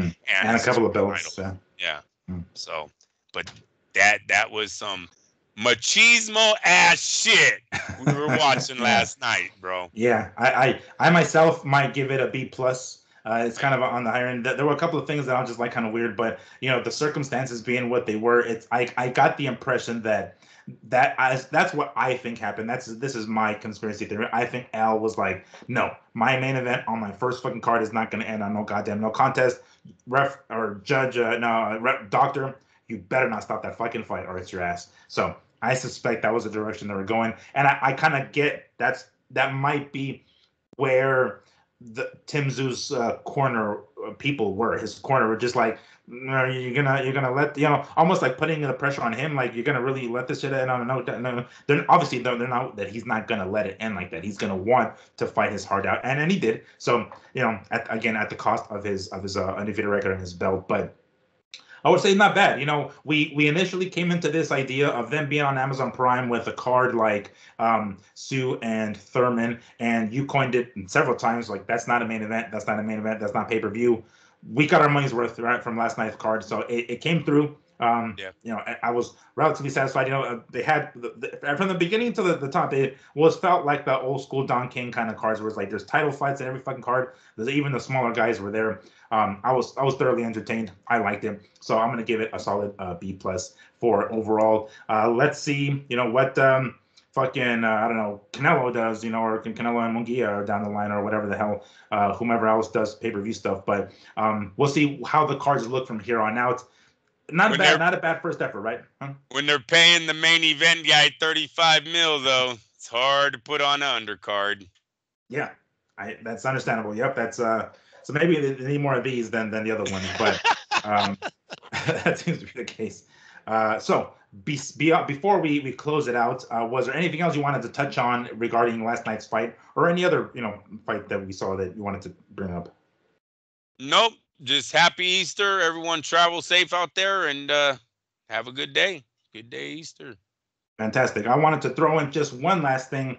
Uh, for those of you who may or may not remember, hopefully you do remember, of course, we lost our good friend uh, Lee Honish earlier, or uh, mid, mid last year. Uh, today would have been his birthday. Today. Oh, well, thanks, Miguel. Yeah, it's, it's okay. Why not throw that? Aye, today I think you have been uh, 55. So I uh, one shout out to uh, you know uh, uh Lee Honish, RIP, my friend.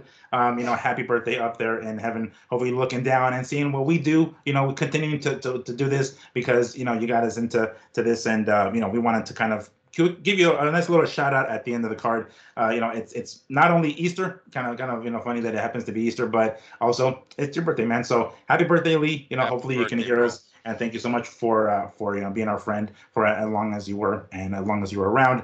Um, so I wanted to end the, the show on that. Um, make sure to tune in next week. We'll be back. Uh, haven't taken a look in at the weekend's fight cards if there are any this weekend, but we'll be back next week. Thank you all once more for joining us. Uh, as always, uh, it has been Fight Fiend Miggs with Andrew. Don't get it twisted, Lapachet. This is the Mad Boxing Show. Checking out. Have yourselves a good uh, Easter Sunday, and we'll see you guys next week.